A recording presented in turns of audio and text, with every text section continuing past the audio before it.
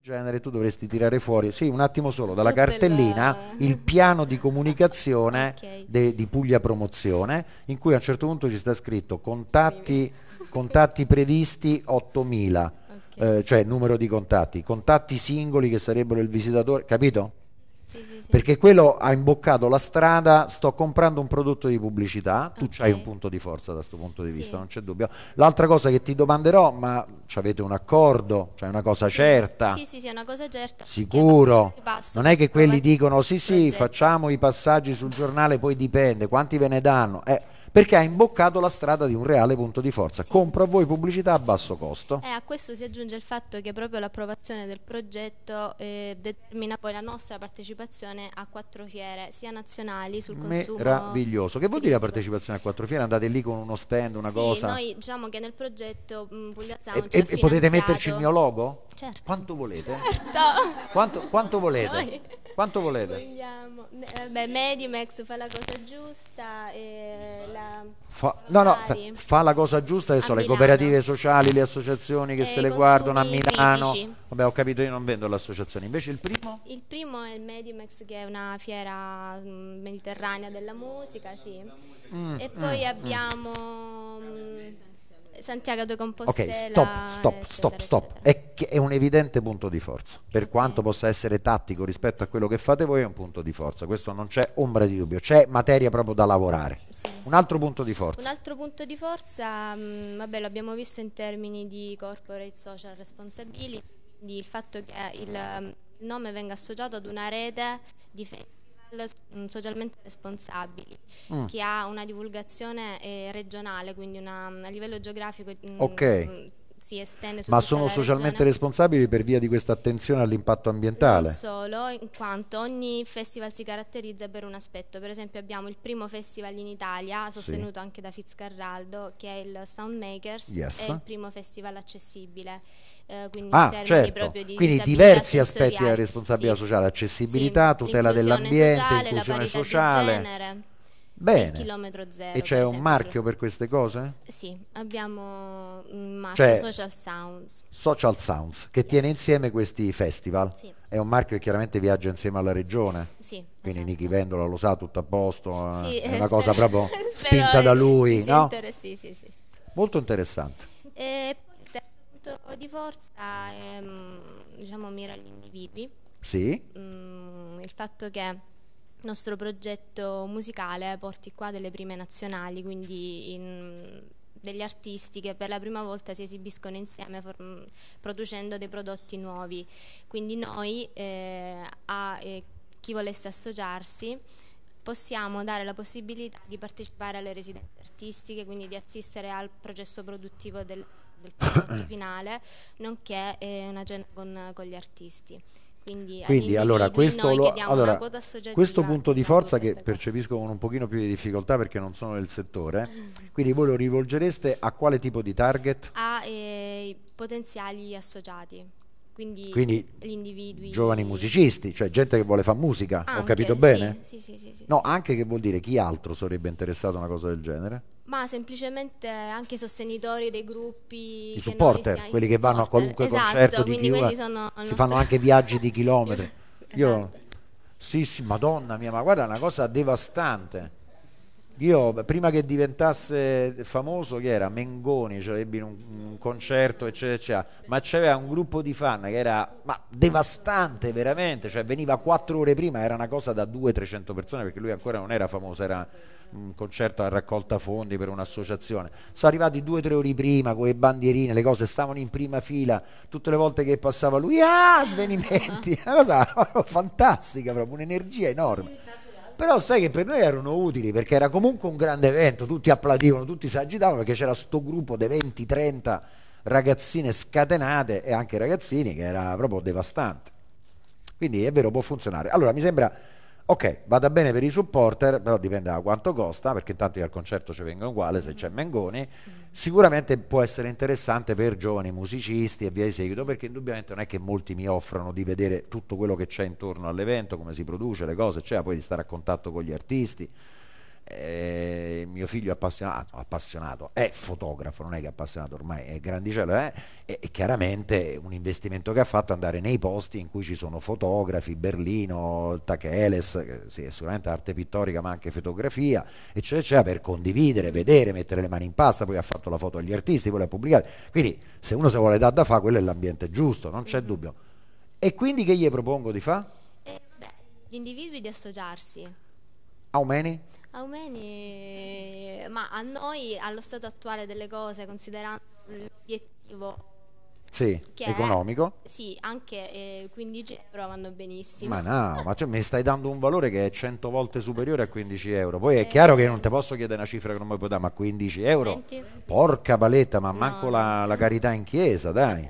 Va bene, 20. Vabbè, su questo si ragiona. Su questo si ragiona, su questo okay. si ragiona. Eh? Sì. Anche qui vorrei vedere, ma questo target quante persone sono, che propensioni hanno, perché mm-hmm. io non do per scontato che comprano una cosa che gli interessa, ma questa okay. è un'analisi che facciamo dopo, va bene? La, la sostanza c'è. Okay. Ottimo signori, complimenti, mi sembrano tutti quanti ragionamenti molto sensati, quindi il mio caldo invito è questa cosa qui adesso didatticamente la chiudiamo perché dobbiamo aprire le aziende, va bene? Quindi useremo quei punti di forza che valgono per le aziende, evidentemente. Quindi voi giocherete su questa cosa del co-branding, eh, licensing o sponsorizzazione. Eh, perché non diciamo, avete più la vendita da individui, ma insomma ci giochiamo, però l'importante è che voi torniate a casa e questo lavoro non lasciatelo lì appeso al chiodo, cioè fatelo in maniera più o meno sistematica, perché è evidente il tempo è quello che è, perché sicuramente vi dà una marcia in più, se non altro vi fa venire degli spunti, delle idee, cioè aiuta molto anche la creatività, come voi vedete, no? E fatelo quindi mai da soli con voi stessi, perché qui lo strumento è il brainstorming, cioè bisogna, bisogna che i cervelli interagiscono, se no non esce fuori nulla. Sì, all together, magari non 100 persone, meglio 2-3, però bisogna molto dialogare, confrontarsi e proprio fa parte del processo creativo, anche di analisi, non solo creativo, del processo di analisi. Se la fai da solo, almeno che non sei un genio e anche qualche grave problema psichiatrico, è molto, è molto difficile che tu lo possa fare. Allora, signori, beh, non mai dire mai. Eh, eh, allora, ehm, da qui alla pausa del pranzo, vediamo la materia delle aziende in modo che subito dopo la pausa del pranzo, e quindi alle 2 abbiamo deciso, vero? Ok, alle 2 attacchiamo un laboratorio che ci porterà rapidamente a dire, fra le tante possibili aziende con i nostri punti di forza, a chi andiamo. Più o meno tutti hanno un computer? No, ok, va bene. No, perché sennò uno potrebbe anche dire mi è venuto in mente Divella, fammi dare un'occhiata a Divella. Ma insomma, adesso lo facciamo in maniera un po' approssimata, comunque ci sono gli smartphone, qualche cosina si può fare, c'è anche il mio computer, quindi si può anche fare, ok? E in modo che prepariamo non proprio la proposta in tutto e per tutto, l'idea con la quale andremo e valutiamo se effettivamente c'era sostanza per andare da Divella o quello che sia.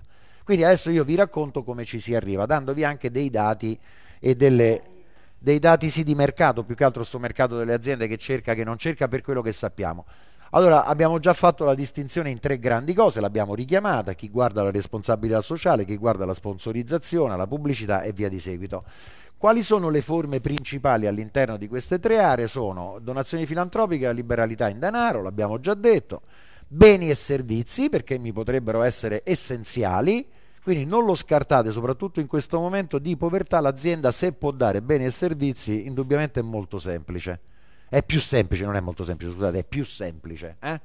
Quindi analizzate bene nel vostro piano dei costi se alcune voci di costo che portano al denaro non possano essere invece annullate prendendo direttamente o il bene o il servizio che vi è necessario perché su questo è più facile. Peraltro, essendo più facile, l'azienda fa una cosa con voi, vi conosce e quindi si crea un ambiente più favorevole per una prossima possibile richiesta invece di denaro. Mm? Questo potrebbe essere un buon modo di aggancio con quel popolo che non investe, eccetera, eccetera, di piccoli produttori. Io potrei cercare una cosa in cui ci sia uno scambio beni e servizi, ma con la logica di portarlo su un terreno di investimento. No? Tempo e professionalità dei dipendenti, secondment. Mi serve volontariato. L'azienda decide che fa volontariato per te. Adesso guardando un po' i vostri casi non mi viene così automatico, però lo dobbiamo annoverare. Raccolta fondi tra i dipendenti, io dico a tutti i miei dipendenti partecipate, date un'ora del vostro lavoro per, l'equivalente di un'ora del vostro lavoro per, qui ci vogliono cause sociali molto forti, eccetera, eccetera, e i regali di Natale, questo potrebbe essere uno spunto eventualmente, perché le aziende comunque, qualcune, non tutti, hanno comunque un capitolo di spesa sui regali di Natale che tendono sempre di meno a essere il cestino, poi ognuno ha il suo pubblico, eh? quindi se il pubblico di un'azienda si aspetta il cestino col salame, la bottiglia e il panettone, gli mandi quello. Però, insomma, le sponsorizzazioni hanno logo, ok, metto il marchio, ti do i soldi, corporate hospitality, ma io questo già ve l'ho detto Vero? No, l'ho detta l'altro ieri ai dirigenti delle scuole, evidente. Eh, ma l'arteriosclerotica è una brutta bestia, eh? eh, ospito l'azienda all'interno delle mie attività. Questo va da un estremo che è lo stand in cui vieni qui, vendi i tuoi prodotti, che è tipico delle fiere, dei congressi, eccetera, eccetera, fino invece a un'integrazione nel progetto, cioè fai una cosa insieme a me lo dico sempre a titolo di esempio perché risulta molto semplice. Faccio una giornata sul vino negro amaro, ho dei produttori qua che non è che vengono solo col vino a vendere, anzi, se facessero solo quello potrebbe assomigliare a una vera marchetta, ma magari ti spiegano il processo oppure mandano il loro sommelier, che caspito ne so. Ecco, questa è corporate hospitality, perché l'azienda gioca un ruolo, evidentemente si, si sospetta positivo, all'interno della tua iniziativa cose related marketing, più vende il prodotto l'azienda, più se fanno soldi per voi. Eh? Compra questo, sostieni quello. Nella cultura in Italia si fa molto poco, anzi così a naso non mi ricordo cose significative, eh? cioè di legare un prodotto a una causa sociale, a un'organizzazione. Mm, non mi risulterebbe strano se lo si facesse per dire per la scala oppure per la scuola di formazione della scala, cioè per grandi marchi per cose minori non l'ho mai visto. Generalmente si fa su cause sociali. La nuova casa alloggio per i disabili piuttosto che, no? Licensing, ne abbiamo accennato prima, io ti do in licenza il mio marchio e tu me lo paghi perché il mio marchio ti serve. Qui bisogna stare attenti perché dare in mano a qualcun altro il marchio è dare in mano la propria identità, quindi insomma, il caso tipico è Golia Bianca WWF non è donazione filantropica, non c'è scritto da nessuna parte nessuno lo dice perché la cosa è molto onesta che Golia sostiene eh, il WWF o la campagna Orsi Bianchi o altro. No, eh, studiatevi bene il pacchetto, c'è semplicemente il marchio del WWF, punto. Perché? Perché Golia ha deciso che il marchio del WWF è attrattivo rispetto a un certo tipo di clienti e quindi sa che diventa motivo di vendita e quindi lo paga. In genere il licensing ha dietro dei contratti anche molto complessi con le clausole, i limiti, i vincoli, perché bisogna stare attenti e spesso porta a dire lo stamperai in un milione di pezzi, mi dai una royalty di 0, che ne so sulle vendite. Insomma, poi entriamo in un mondo che insomma adesso è inutile che ci perdiamo tempo. Uh, in Italia licensing per esempio l'ha fatto molto Unicef, a volte è stato anche un po' contestato per questo, però insomma vedi, eh, do via il marchio di Unicef ad aziende che lo possano usare perché il marchio di Unicef vale soprattutto sotto Natale no?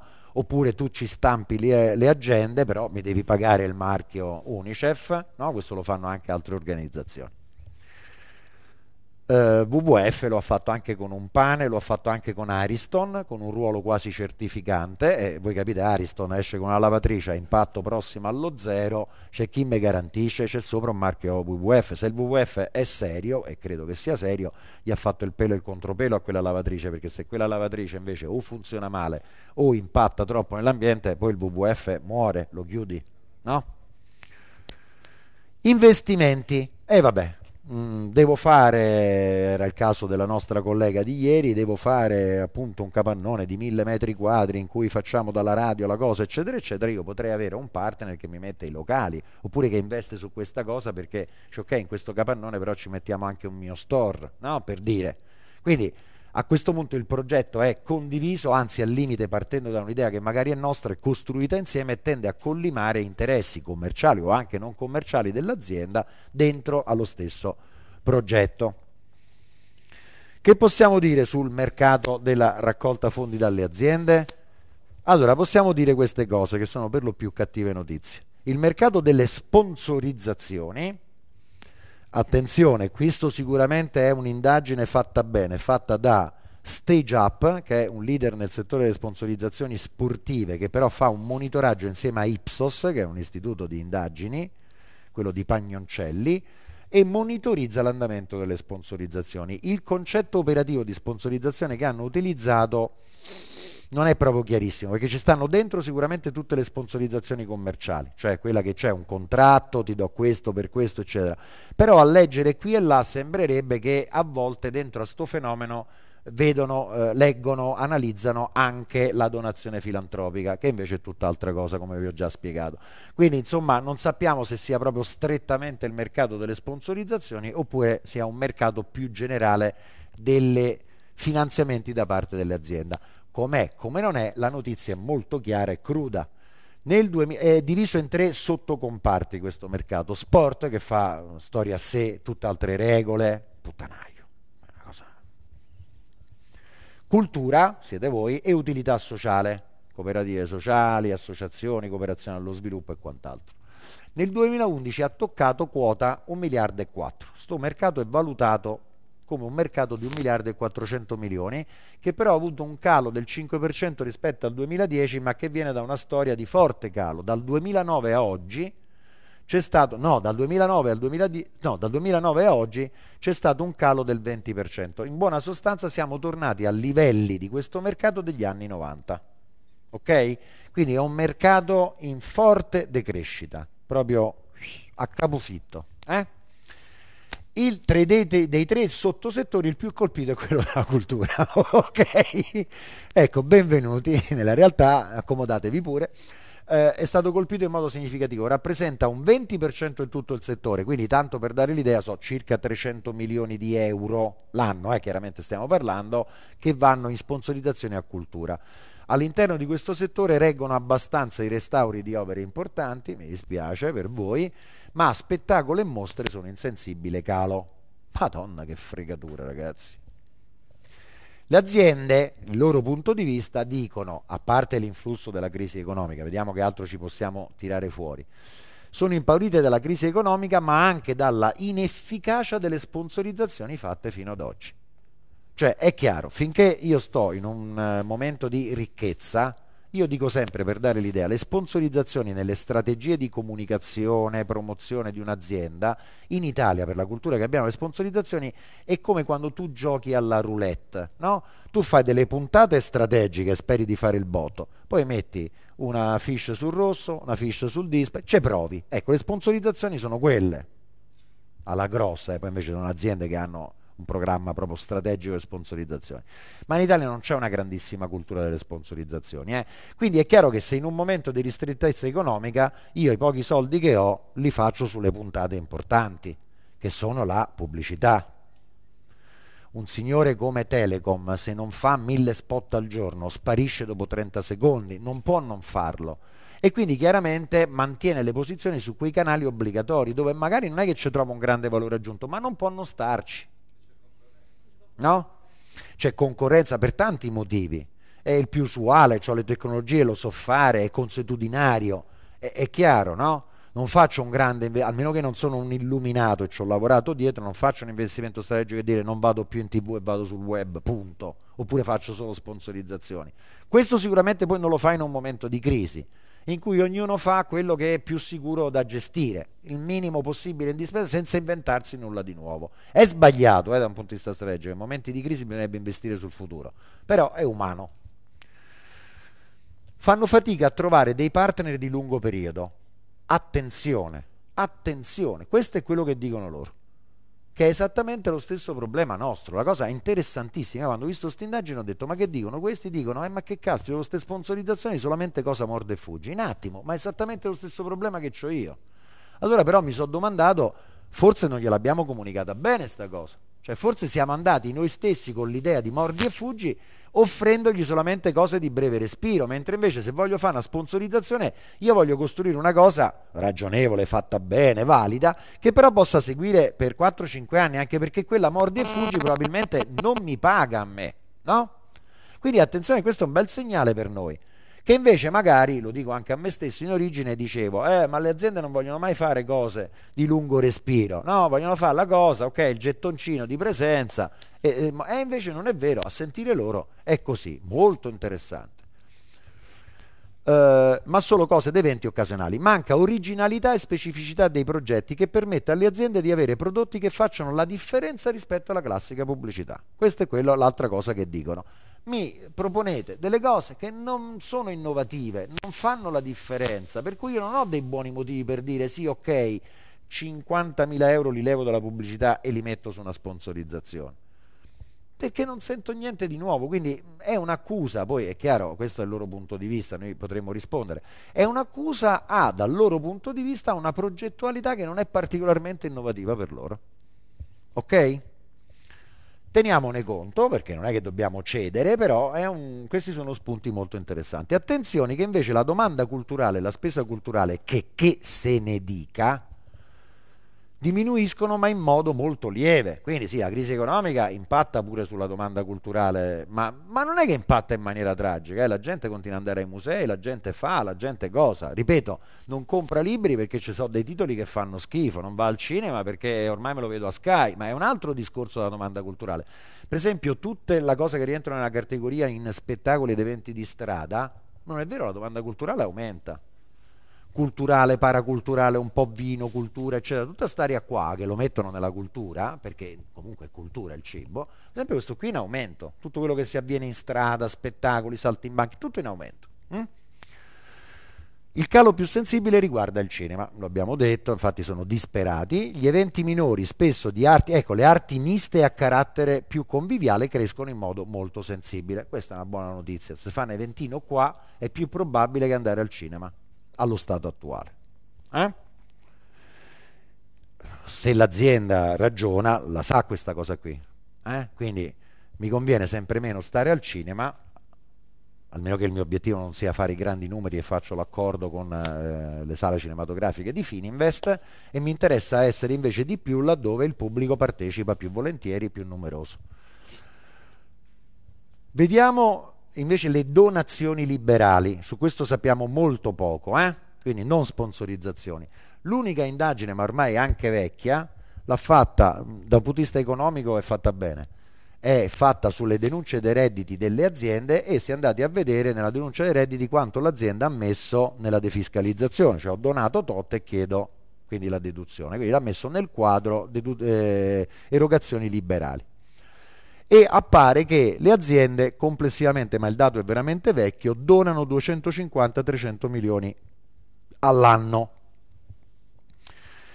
Ma siccome la fonte sono le denunce dei redditi e non tutto quello che le aziende donano lo tracciano, per definizione ritengo che sia di più, anche perché attenzione, c'è un limite a questo tipo di indagine. Comunque l'azienda ha un tetto massimo, oltre i 70.000 euro, o oltre il 2% del reddito d'impresa non può più defiscalizzare il suo contributo. Quindi l'azienda che ha donato un milione di euro, dentro la sua denuncia dei redditi dice trovo il pezzo da 70.000, ok? Quindi è solo un indicatore che comunque mi permette di dire una cosa, noi abbiamo una legge sulla defiscalizzazione in Italia che è quella che vi ho appena detto, ok?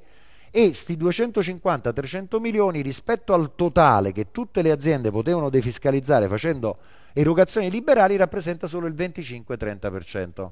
Ciao Cristina, ma tu sei qui per salutarci perché questo è un doppione di quello che hai già fatto. Eh? Fammi stare tranquillo con la coscienza. Ok, a posto. No, perché è una ficcionata dei nostri corsi. E allora io quando ho visto che lei diceva passo, passo, passo, ho detto Dio, sente lo stesso corso che è venuto a fare a Torino. no, quello di Torino quello di Torino era un po' di più, perché sennò sarebbe giusto dire se lo sapevo non mi iscrivevo a Torino e venivo qua. no, no, era di più quello di Torino. Il numero delle aziende, che, quindi vuol dire che molte aziende questa pratica non ce l'hanno, forse neanche lo sanno, quindi complessivamente noi dovremmo fare una promozione migliore di questo che comunque è un vantaggio fiscale. Il numero delle aziende che investe in responsabilità sociale, questo invece ci interessa molto, è in crescita siamo ormai attestati sul 70% delle aziende, cioè 7 aziende su 10 in un modo o nell'altro hanno un loro programma di responsabilità sociale d'impresa. Non tutti i programmi di responsabilità sociale d'impresa portano a un'azienda che dà soldi, eh? a volte è miglioramento delle condizioni del lavoro, a volte è attenzione all'impatto ambientale, quindi però è un indicatore che ormai è passata come cultura di base delle aziende. Addirittura in quelle grandi siamo all'88% e la media di investimento annuo per azienda su pro- programmi di responsabilità sociale d'impresa vedete che non è proprio una sciocchezza, è 220 mila euro. Qui dentro ci sono dai 5, 6, 7, 10 milioni di un Enel, di un Eni per dire, e chiaramente ai 1000 euro del caseificio di Potenza. Va bene? L'altra bella notizia notate la follia di Bill Gates, è lui che decide la numerazione, eh? lo decide lui. Quindi siamo al punto 3, ma in verità per Bill Gates è il punto 5, questo delirio di onnipotenza di, dei programmi di Office. Allora, anche le piccole e medie imprese fanno responsabilità sociale. Questa è una grande notizia perché noi siamo un mondo non profit fatto all'88% di piccole e piccolissime organizzazioni non profit e un mondo imprenditoriale che è fatto all'80%, eh, cifra più, cifra meno, di piccole e piccolissime organizzazioni. Quindi noi a un livello macro di mercato non possiamo pensare di campare il mondo non profit solo con le grandi, c'è proprio un discorso numerico, quantitativo, no? E quindi anzi dovremmo migliorare la nostra capacità di offrire un qualche cosa che sia all'altezza delle piccole. È chiaro, non posso andare lì, fammi la sponsorizzazione da 20.000 euro, la pubblicità, perché il caseificio di potenza di andare in giro in tutto il mondo magari non gliene frega, no? Ora però su questo c'è anche un certo orgoglio, ne dobbiamo tenere conto, perché quando l'Italia eh, eh, era, diciamo, eh, ha guidato, governato il semestre europeo no, della Commissione europea, allora era ministro del welfare Maroni, che fece una serie di incontri europei sulla responsabilità sociale, ok?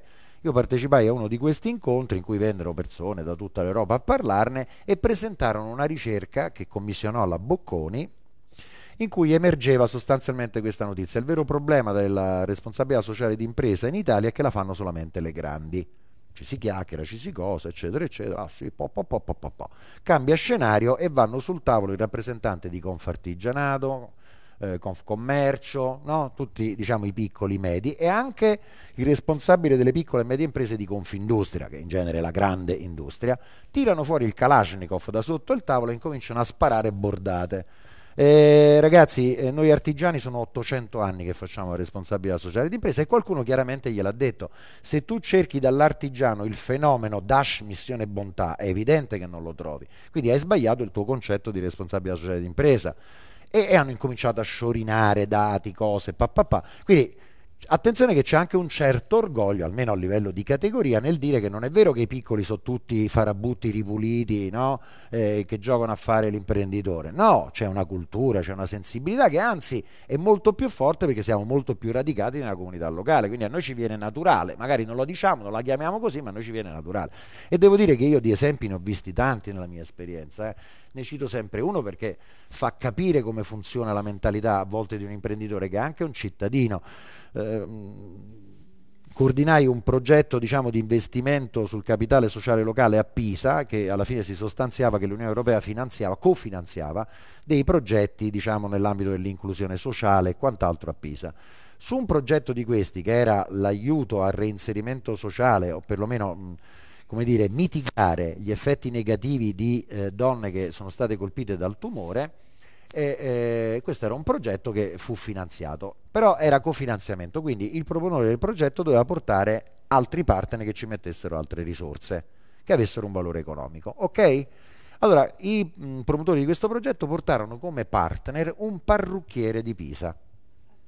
Un parrucchiere di Pisa che nell'ambito di questo progetto si rese disponibile ad andare due volte la settimana all'ospedale, nel reparto, e di non solo fare normale lavoro di parrucchiere, ma anzi con le sue competenze e il suo personale di aiutare a gestire al meglio il problema dell'estetico che si può creare in donne operate al seno piuttosto che. Va bene? O soprattutto quelle che devono fare una terapia, chemioterapia, insomma, chemioterapia per via dei capelli. Ora, quando io sento la responsabilità sociale d'impresa, il ritorno d'immagine, la reputazione, ma voi pensate che il parrucchiere di Pisa ha aumentato i suoi clienti oppure è diventato più famoso a Pisa per questo? No, lo ha fatto perché evidentemente ha una sensibilità, un cittadino come gli altri. Mm, io l'unica cosa che ho chiesto, volevo capire da un punto di vista motivazionale se in famiglia lui avesse avuto un problema del genere, ma eventualmente ci andava lui. No, ci è andato con tutte le maestranze. Quindi c'è dentro il fatto che io come impresa ho delle competenze che se riesco a creare un clima buono all'interno spendo anche socialmente. Poi che si parli bene di lui, sì, ma lui non è che ci ha fatto pubblicità, se doveva aumentare i clienti e comprava uno spazio sul giornale non andava a fare una cosa del genere, gli costava pure meno. Perché voleva dire che il giorno di chiusura del parrucchiere lui andava lì nell'ospedale e, e, quegli altri dicevano sì, vengo volontariamente perché non è che gli poteva pagare, cioè rientrava nello stipendio generale, non era straordinario, no? E che un altro giorno un pezzo del personale tornava là, cioè è caspiterina, non lo so. Ecco, allora questa come la dobbiamo chiamare? Non è Dash Missione Bontà, ma è responsabilità sociale d'impresa che può arrivare al singolo commerciante. Un terzo delle aziende usa la responsabilità sociale d'impresa esclusivamente attraverso donazioni verso soggetti terzi. Che bella notizia. Oh, un terzo di questi per fare responsabilità sociale devono dare soldi a qualche d'un altro. Eccoci, siamo qua, venite, siamo a vostra disposizione. Quanto mi volete dare? Eh, aspetta che ci penso un attimino, poi ti rispondo. Due terzi invece, quindi un terzo è buono. Due terzi ricerca un coinvolgimento diretto a fianco dei soggetti terzi, cioè voi o il pubblico destinatario delle vostre attività, coinvolgendo anche il proprio popolo, i dipendenti, la propria clientela. Ecco, allora questa vedete che è una spinta molto forte. Se faccio responsabilità sociale d'impresa, men che meno voglio essere solo il marchio sul manifesto voglio avere un ruolo attivo perché è chiaro che voglio far valere il mio impegno sociale. Se non mi dai un ruolo attivo, se non mi integri nel progetto, io questo valore aggiunto non riesco a riscuoterlo. Vi è chiaro? Quindi attenzione che se battiamo quel canale noi dobbiamo essere in grado, guardando il nostro progetto, di capire come loro si possano integrare dentro non per motivi commerciali, lo stand in cui vendono qualche cosa, ma invece proprio per raggiungere insieme a noi la finalità del progetto.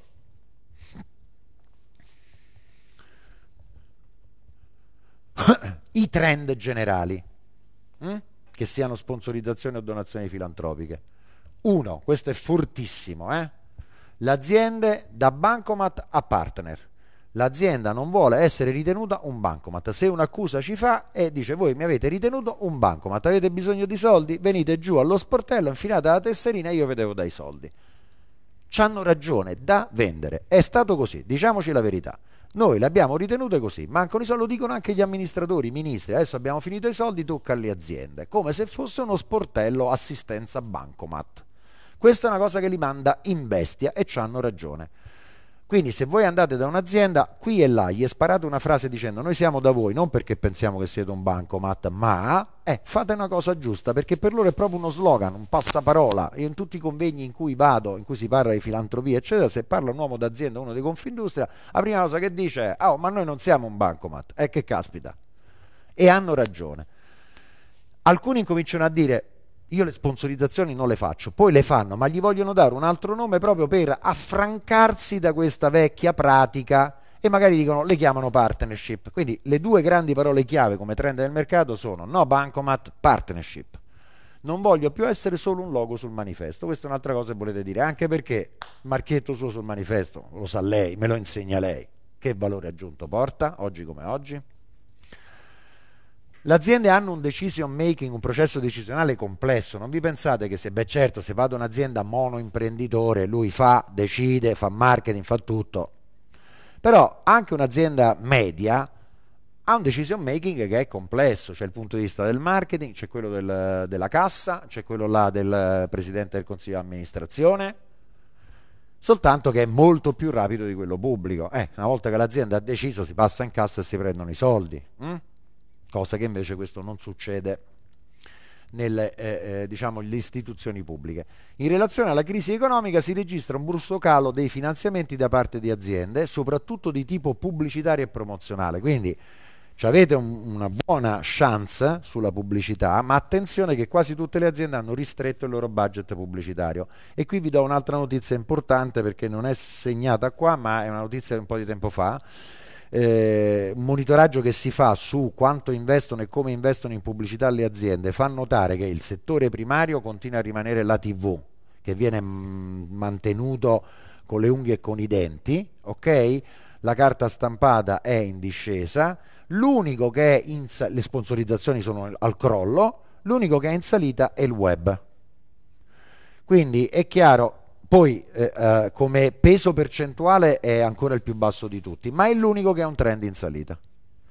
Quindi attenzione che le aziende stanno guardando con sempre più attenzione al web e in, da questo punto di vista hanno due o tre difficoltà interessanti. La prima può essere di ordine tecnologico, alcune aziende ne capiscono meno di voi, quindi li potete aiutare non ce la fanno, non ci arrivano, non hanno tempo, non hanno consuetudine, cultura. Sanno che lo devono fare, gli è arrivata sta ventata, sta soffiata, e però la seconda cosa invece, perché poi un'azienda invece ci metterebbe un attimo, è che stai sul web, però il web non è che proprio puoi fare pubblicità e basta, certo, compri lo spazio sul web, quando tu vai in un sito ti arriva quella caspito dei video che te devi beccare, ma è pure antipatica. Il web il valore aggiunto te lo dà non solo come canale in cui fai l'affissione, fai lo spot, ma se usi tutta la sua potenzialità. Da questo punto di vista il web che è molto social, le aziende tende un po', come dire, a respingerle. Mm, più che respingerle, sono un po' come pesci fuor d'acqua. Mi spiego. Se io come azienda apro la mia pagina Facebook, probabilmente ho gli aficionados, punto, ma non è che riesco a fare dialogo più di tanto. Se sono la pagina Facebook delle Lelly Kelly, ci avrò le bambine di 10-12 anni urlanti che giocano con le figurine Lelly Kelly, lo sticker. Basta, non è che faccio social. È un altro posto in cui metto il mio stand, no? Allora, chi è che è forte invece in questo? Chi ha un'identità sociale. E quindi attaccarsi a qualcheduno che ha il profilo giusto per dialogare con il mondo, questa è una carta in più per dialogare sui social. In questo senso molte aziende tendono a stare sul social legandosi a campagne che abbiano un valore sociale, in cui il traino lo fa CESVI, l'UNICEF. Se voi avete un forte livello social e un buon livello web, siete più appetibili in questo momento, non c'è dubbio. Magari dici, vabbè, io i contatti, gli spettatori sono quelli che sono, però ho una community di 20.000 e qui servono i dati, di 20.000 che 8 volte all'anno vengono sulla mia pagina, interagiscono così, passano ad altri siti che sono di questo genere, cioè fare un buon monitoraggio di quello che succede nel nostro web potrebbe rappresentare, soprattutto per aziende piccole e medie, eh, diciamo una buona dote da portare. Requisiti essenziali per stare su questo mercato. 1. Capacità di analisi dei soggetti. Alle aziende possiamo andare a chiedere soldi se c'è qualcheduno che spende reali ore uomo per studiarsi le aziende. Non c'è possibilità, non c'è voglia di farlo, non c'è tempo? Lasciate perdere. Se io vado da Vodafone, lo ripeto, devo aver perso probabilmente un qualcosa come 48 ore di lavoro per studiarmela, per filo e per segno. Se no, non mi dovrei proprio permettere neanche di avvicinarmi a Vodafone. Questa è una prima condizione essenziale.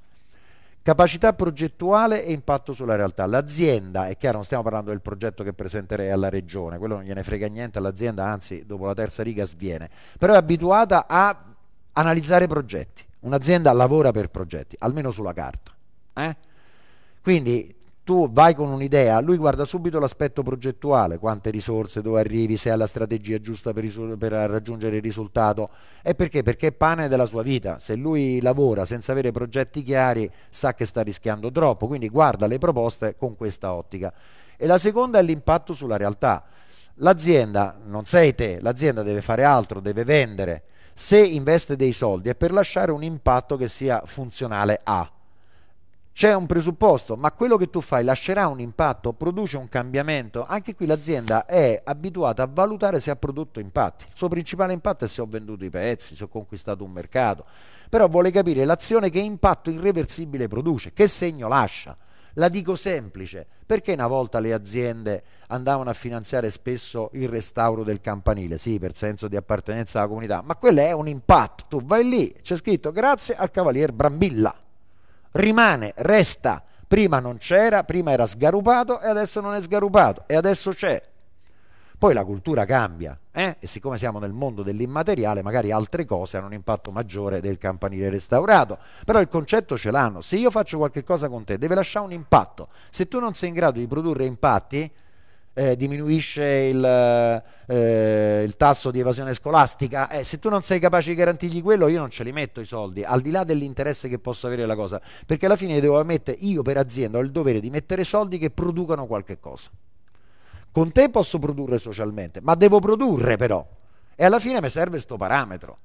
Dopo il mio intervento è calato il tasso di evasione del 5%. Eh, l'azienda dice ho fatto una cosa buona. Quando va dall'azionista, l'azionista gli deve dire abbiamo scelto l'impegno sociale, però caspita. No?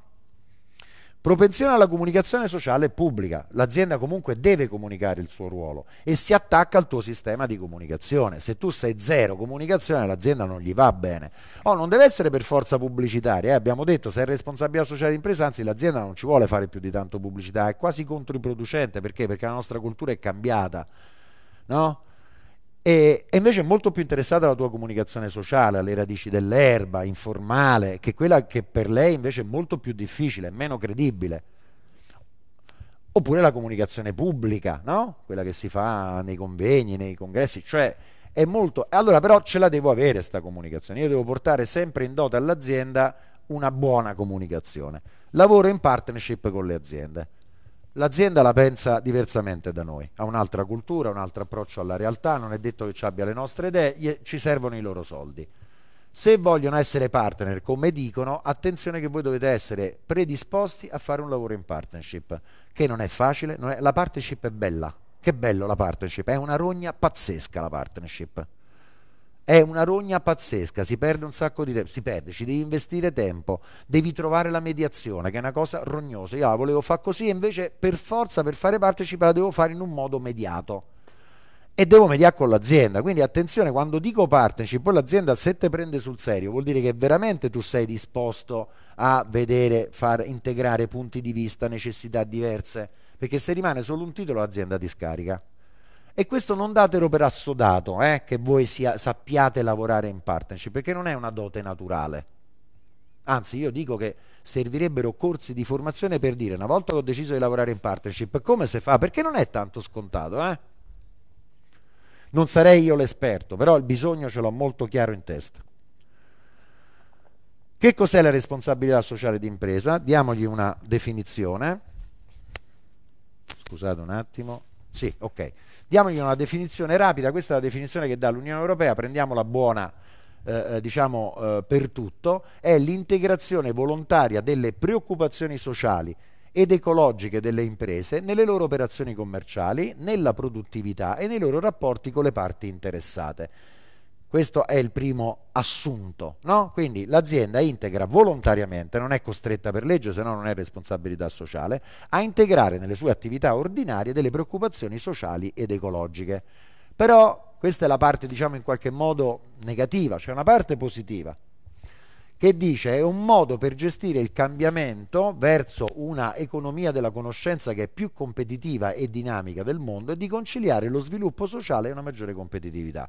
Quindi l'Unione Europea, che poi ci ha investito dei soldi per promuovere la responsabilità sull'impresa, dice care aziende, fatelo perché dovete essere più buone, ma attenzione, fatelo perché è strategico per il vostro sviluppo, perché in questo mondo l'impegno sociale è un fattore competitivo non solo perché siete buoni, ma perché acquistate, questo è molto importante, capitale cognitivo, conoscenza della realtà, senza la quale non sapete rispondere alle sfide, e capitale sociale, fiducia, senza il quale un'azienda non va avanti.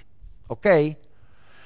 Quindi c'è dietro un passaggio culturale molto profondo. Prima l'azienda aveva un unico stakeholder, gli azionisti rispondevano a loro, tutto il resto era funzionale Invece in questa logica l'azienda sa che non può governare se stessa e quello che vuole fare solamente con gli azionisti, ma la deve governare con gli ambientalisti, con la società civile, con le pubbliche amministrazioni, che sono stakeholder, portatori di interessi che se si mettono là e si piazzano l'azienda non va avanti. Quindi deve governare i rapporti con loro.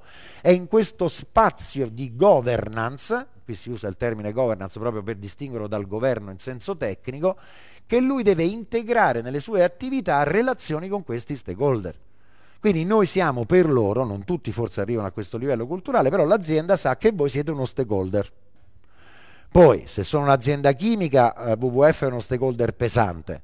Se sono un'azienda che opera nel campo dei giovani, eccetera, voi siete uno stakeholder importantino. No? Se sto nel campo del gioco, voi siete uno stakeholder importante.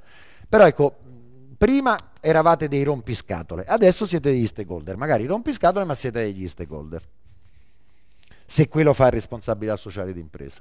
Salto un po' di cose che vi ho detto a voce.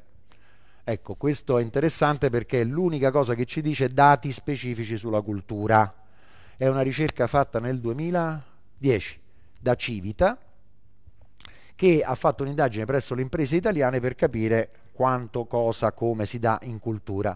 48% delle imprese italiane, secondo questa indagine, ha investito in cultura negli ultimi tre anni per una cifra di 2,5-3 miliardi di euro. Qui si valuta il mercato di più, probabilmente non si vede solo la parte defiscalizzata, non si vedono solo le sponsorizzazioni, perché avete visto le sponsorizzazioni erano un miliardo e quattro, no? Il 56% dei finanziamenti viene dalle grandi imprese, mentre il 44% dalle imprese più piccole. Anche questo non è un dato malvagio, eh?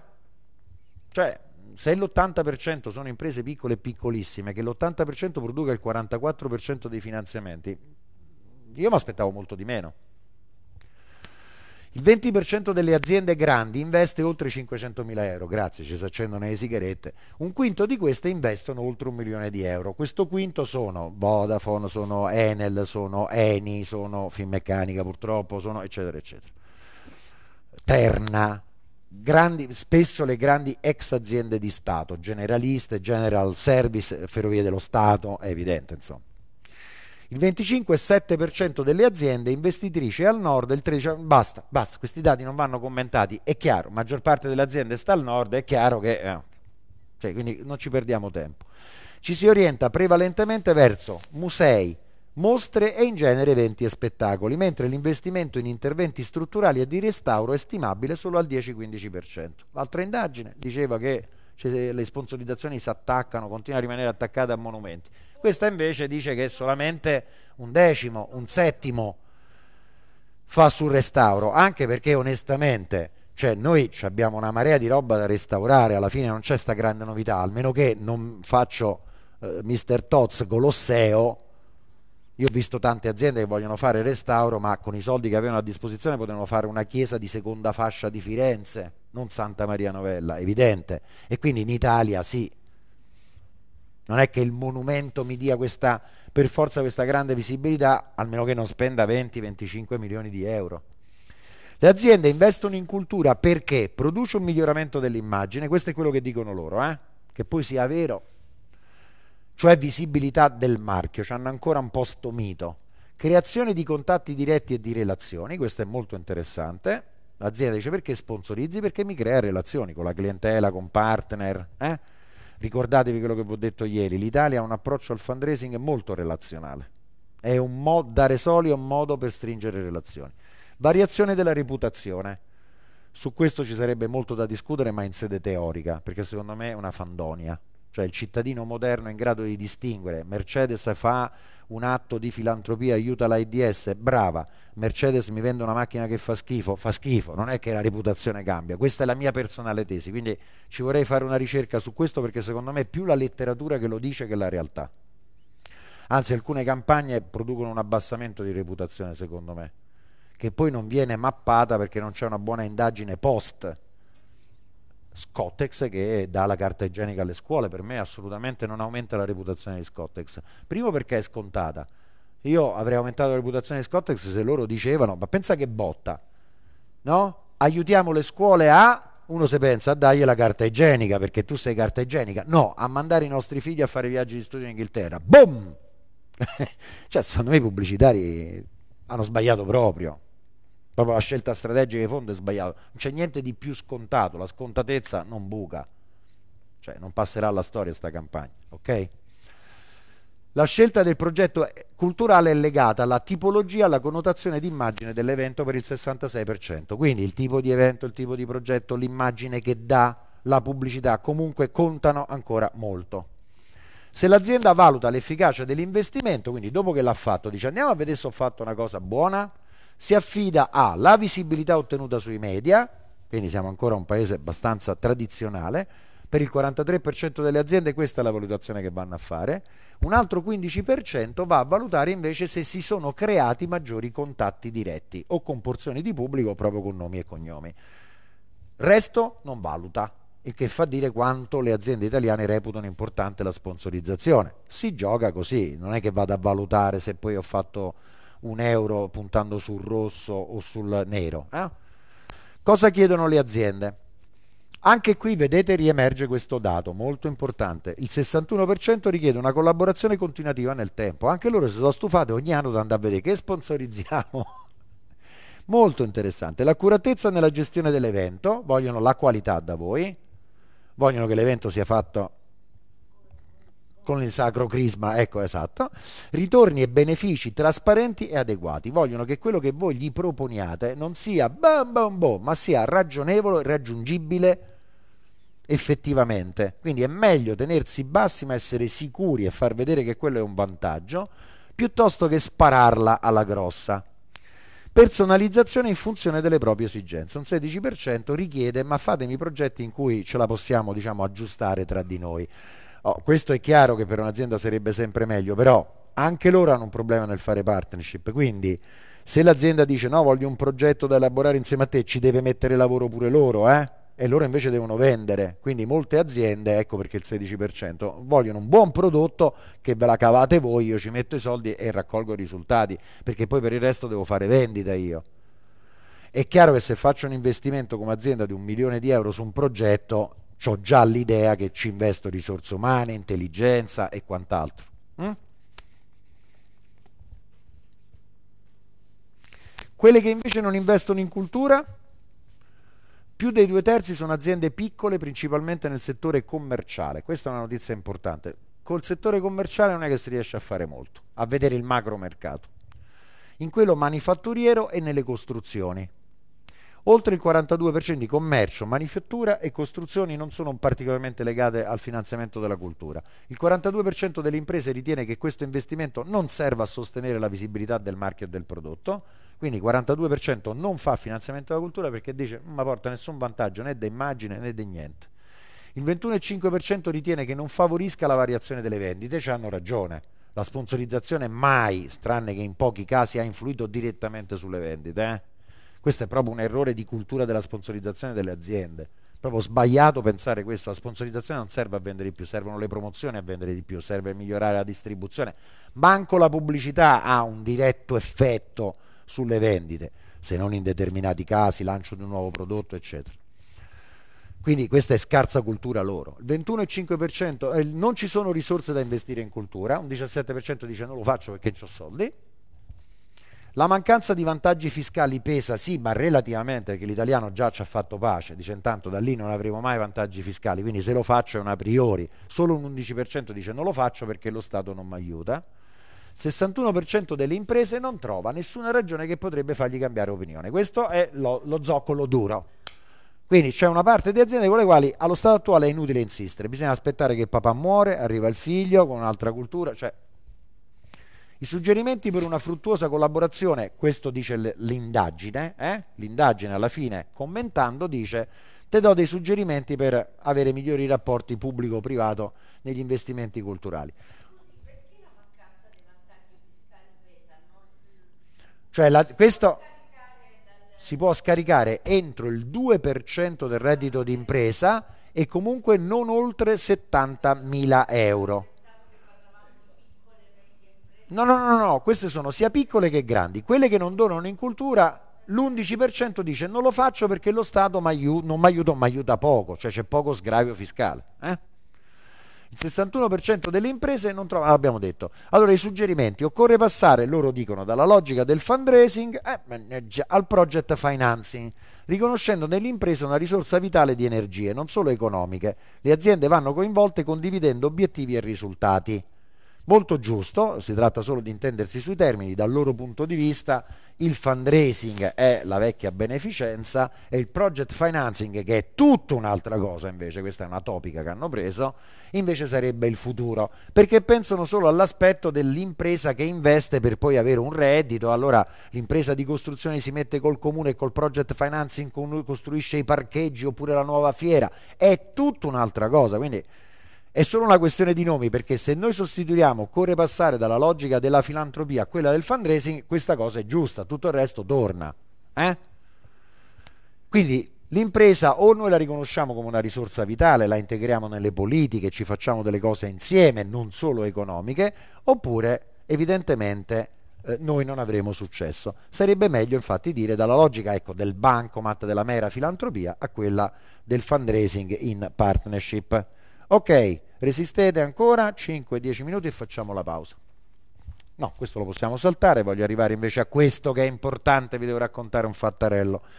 Ormai è passato tanto tempo, il mondo è cambiato, però io lì ho cominciato a capire come mh, come tenere sotto controllo la difficile funzione della raccolta fondi d'azienda. Un giorno vado da Vodafone con un progetto da finanziare che era tendenzialmente Mission Impossible, cioè dovevo trovare lo sponsor per un libro, che già non è che ce ne sono tanti di libri sponsorizzati, e che era una sorta di rapporto sulla cultura in Italia, con annessi tre convegni di presentazione, no? E vado da Vodafone Vado da Vodafone peraltro, perché Vodafone comunque è uno spender nel campo della cultura, cioè mi ha dati di soldi, e poi perché oh, avevo contattato un uh, dirigente di marketing che, cosa veramente assurda, mi risponde con una email dopo 24 ore, non di più, dicendo ok, incontriamoci. Questa è una cosa che non succede quasi mai e siccome è successa dico, oh, che cosa bolle in pentola? Vado lì con la mia cartellina, giacca e cravatta, perfetto, pa pa pa gli, eh, gli propongo il progetto e alla fine gli dico per questo chiediamo una sponsorizzazione a Vodafone e lui mi fa no, Vodafone non fa sponsorizzazioni dico come non fa sponsorizzazioni Vodafone penso tra me però sai attaccare subito così pare male rimbandisco tutta la cosa ci ritorno sul punto e gli dico e per questo chiediamo una sponsorizzazione a Vodafone no no dottore Vodafone non fa sponsorizzazioni allora lì un po' perdo la pazienza, eh, perché dico, guardi, scusi, mi scusi tanto, apro la Repubblica del giorno proprio a botta sicura, pagine di Roma, da Monet a Manè, pa, marchietto Vodafone, giro pagina, un'altra cosa, pa, marchietto Vodafone, gli dico, abbia pazienza, queste che so? Tanto per intenderci. Allora lui, diciamo che si alza, va a chiudere la porta della sua stanza, ritorna con fare confidenziale verso la scrivania e mi fa, dottore, ma quelle sono sponsorizzazioni, sono marchette, no? Allora io vi faccio, dico, eh, santa pace benedetta, innanzitutto non le chiami così, cioè state gestendo delle relazioni, a me mi va benissimo, però ecco l'unica cosa, l'unica preghiera, dottore, abbiate pazienza, quando andate ai convegni, non parlate dell'impegno di Vodafone, la cultura, le sponsorizzazioni, perché lei capisce, poi dopo io vengo da lei e gli chiedo le sponsorizzazioni, cioè non è che ho sbagliato io, avete sbagliato voi. Allora, visto questo clima così di confidenza, lui dice, però dottore, mi segua un attimo, mi fa lui. Ha presente la guida Michelin? Dico sì, quella dei ristoranti, no? Cioè, ecco, perfetto. Se voi faceste un servizio tipo guida Michelena delle mostre, tipo tre forchette, quattro cappelli secondo accessibilità, qualità delle opere, orari, eccetera, eccetera, no, noi lo mettiamo sul numero 48823. Per cui un eh, cliente Vodafone con quel numero vede le mostre che ci stanno no? e vede direttamente anche quanto sono valutate. Poi spinge asterisco e fa la prenotazione online e se la va a vedere la mostra. Io lo blocco, dico guardi è un'idea geniale, soltanto che la nostra mission, le nostre competenze sono altre. Ma so, mi sembra veramente una bella idea, ma non siamo noi il partner per fare una cosa del genere. No? E allora tendo un po' a rilanciare la questione e dire ma in effetti, guardi dottore, noi non stiamo chiedendo una sponsorizzazione. Lì ho fatto autogol, ma è giusto, non si finisce mai di imparare, aveva ragione lui. Anzi, aveva ragione Vodafone. Perché ho fatto un errore, io gli dico, ma in effetti io non sto chiedendo sponsorizzazione. E già qui è un errore, dice, sei venuto a chiedermi una sponsorizzazione e mi dici che non viene a chiedere sponsorizzazione, c'è qualcosa che non torna. Noi più che altro veniamo qui per la responsabilità sociale, perché voi comunque investite in cultura, quindi investite dei soldi e questo è un rapporto che in qualche modo vi dà delle informazioni per migliorare la vostra politica sulla cultura, cioè per prendere decisioni meglio, che cosa vuole la gente, come va la cosa e via di seguito. Quindi guarda più alla responsabilità sociale piuttosto che alla pubblicità. E lì l'autogol finale è questo, e lo sapevo, ma io dovevo fare la trattativa, è che Vodafone la responsabilità sociale impresa la fa con la fondazione, non la fa con l'azienda, quindi sto chiedendo i soldi al posto sbagliato. E lui dice, beh dottore, questo però lo deve dire, perché sta al piano di sotto, alla fondazione Vodafone. Perché non sono andato alla fondazione Vodafone? Ecco, è un autogol completo. Perché la fondazione Vodafone ti dice perché cosa vuole finanziare. La fondazione Vodafone in Italia non finanzia cultura almeno che non sia legata a un tema sociale di bisogno e via di seguito. Quindi magari fa Ascanio Celestini teatro in periferia perché si sta occupando delle periferie, eccetera, eccetera, ma non ti fa come fondazione il teatro, la cosa e via di seguito. Ok? E quindi a questo punto mi rimaneva che chiudere la cartellina andare via e sull'uscio gli faccio, ah dottore, a proposito di marchette, ma noi mettiamo intorno al tavolo nei convegni tutti gli assessori regionali alla cultura. Lui si ferma un attimo, ma se mi diceva gli assessori al bilancio ne avremmo parlato. Ok? Allora, diciamo che questo episodio per me è molto istruttivo, assolutamente molto istruttivo, mi ha aiutato a capire, ma quando l'azienda dice io sponsorizzo, perché poi nel gergo sponsorizzo, dietro questo atto di sponsorizzare, quale motivazione c'è? Che cosa lo muove a fare che cosa? Perché più io riesco a capire questo, più riesco a capire se ho qualche cosa realmente da offrire. Allora, nel primo caso è una pratica, la sponsorizzazione tesa a regolare le relazioni, che è una funzione essenziale e onesta dell'azienda. L'azienda ha i soldi suoi, fa il cavolo che gli pare, almeno che non faccia fatture false, imbrogli, eccetera, eccetera, è libero di fare quello che vuole. Io non posso dire eh, che schifo. Questo lo dicono gli italiani perché sono vergognosi, ma un'azienda che non gestisce le relazioni anche con questo strumento va a casa, Peraltro a volte con questo strumento si fanno anche delle cose buone. Il sindaco chiama un'azienda e dice voglio fare un teatro in periferia perché le periferie non hanno cultura, mi dai una mano? È chiaro che lo faccio per fare un favore al sindaco anche, ma lo faccio per poi produrre un bene sociale. Quindi voglio dire, c'è pure del, del buono in questo. Due, è quello che mi proponeva lui, che però attenzione alla sponsorizzazione che vuol dire facciamo joint venture per fare affari? C'è un qualche cosa che l'azienda deve portare, un aumento di vendite, un nuovo prodotto, un nuovo sistema di produzione. Non è più roba da marketing, è roba di produzione, ok? Di vendita. Il terzo è quello che gli proponevo io, quello classico. Tu mi sponsorizzi, e hai pubblicità, hai immagine, però a patto che io che gli vado a proporre qualcosa ho un appeal mediatico cioè gliela, glielo posso portare in dote. Io che gli portavo tre convegni, avrò fatto due articoli sul giornale, quel libro l'avranno comprato sì e no mille persone, le altre stanno a scaldare un magazzino, detto proprio sinceramente, ma che dote gli portavo pubblicitaria? Sì, una carrellata rapida del TG3 con un'intervista a qualche politico e il logo dell'azienda manco si vedeva perché la televisione almeno che l'azienda non abbia pagato, sta attenta nelle carrellate a non far vedere, e se no altrimenti si frega con le sue mani. Quindi figurati. Vantaggio fiscale ce lo aggiungo, ma in quel caso io non ero neanche una onlus, quindi manco il vantaggio fiscale gli potevo dare, però ci può stare. E invece la quinta cosa è una forma della responsabilità sociale d'impresa che ormai l'azienda tende, come nel caso di Vodafone, proprio a separare dall'attività aziendale se non creando una fondazione, dandogli proprio altri responsabili. In genere la responsabilità sociale d'impresa, ecco l'altro errore grave che ho fatto io, non sta mai nel marketing dell'azienda come punto di riferimento, sta nel consiglio d'amministrazione dove si gestiscono le relazioni, le strategie d'azienda.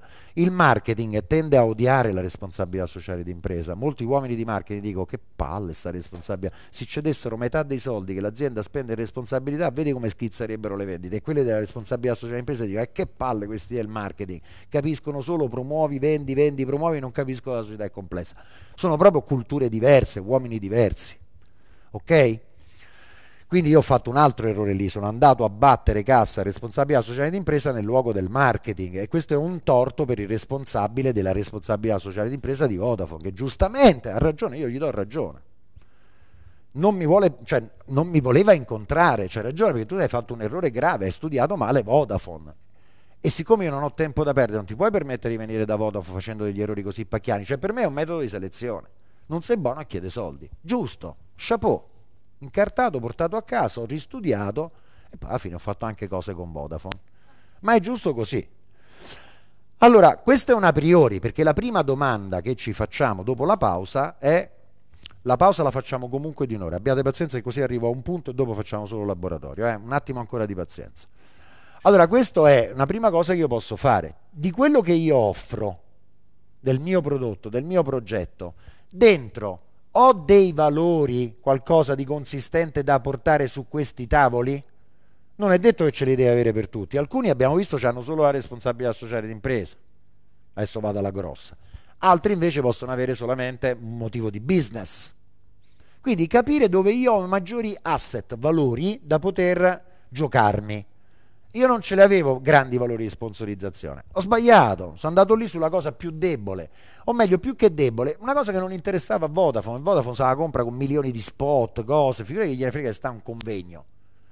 Gli fregava solo se gli dicevo, uh, ti porto però tutti gli assessori al bilancio. Sono quelli che decidono di fare un contratto quadro, tutte le linee del comune sono uomini delle Vodafone. Questo gli poteva interessare, no? Come si lavora sulle sponsorizzazioni? Eh, questo è il passaggio all'operatività. Perché il vero problema delle sponsorizzazioni è che cosa offro a chi e poi come. Ma il vero problema è a chi devo offrire che cosa. Noi partiamo sempre da un'idea sbagliata che il nostro progetto, cioè quello che noi abbiamo deciso a casa nostra di fare, è l'oggetto della sponsorizzazione. No, quello è il tuo bisogno, non è l'oggetto della sponsorizzazione. L'oggetto della sponsorizzazione è frutto di un ragionamento anche creativo che nasce attraverso questo schema. Si parte dalla storica analisi della domanda e analisi dell'offerta. Dove stiamo noi? Sulla domanda o sull'offerta? Fatemi godere, dai. Nell'offerta, bravi! Perché la logica è proprio questa, anche l'approccio psicologico deve essere quello, io vado dall'azienda a offrire qualcosa di utile per loro, se io vado all'azienda a domandare, l'azienda dice hai sbagliato, io vendo, non do, ok? e l'azienda invece si presuppone che abbia una domanda tale per cui quello che io gli vado a offrire risponda a un suo problema, a un suo bisogno, non un problema. Ok? Questo è lo schema giusto. Quindi, analisi della domanda vuol dire che io mi studio il mercato delle aziende, se penso in ipotesi che questo possa interessare la telefonia, mi studio il mercato della telefonia, se penso che vado da Vodafone, mi devo studiare Vodafone, che cerca Vodafone, che va Vodafone, tutte le cose che abbiamo detto prima. L'analisi dell'offerta è un'analisi di profondità, vedete che è il frutto anche dell'analisi forze e debolezze. Che cosa io ho tra le mie attività e quali valori hanno queste attività che possono interessare alle aziende? Alcune non ce l'hanno, le scarto e capisco che cosa posso portare.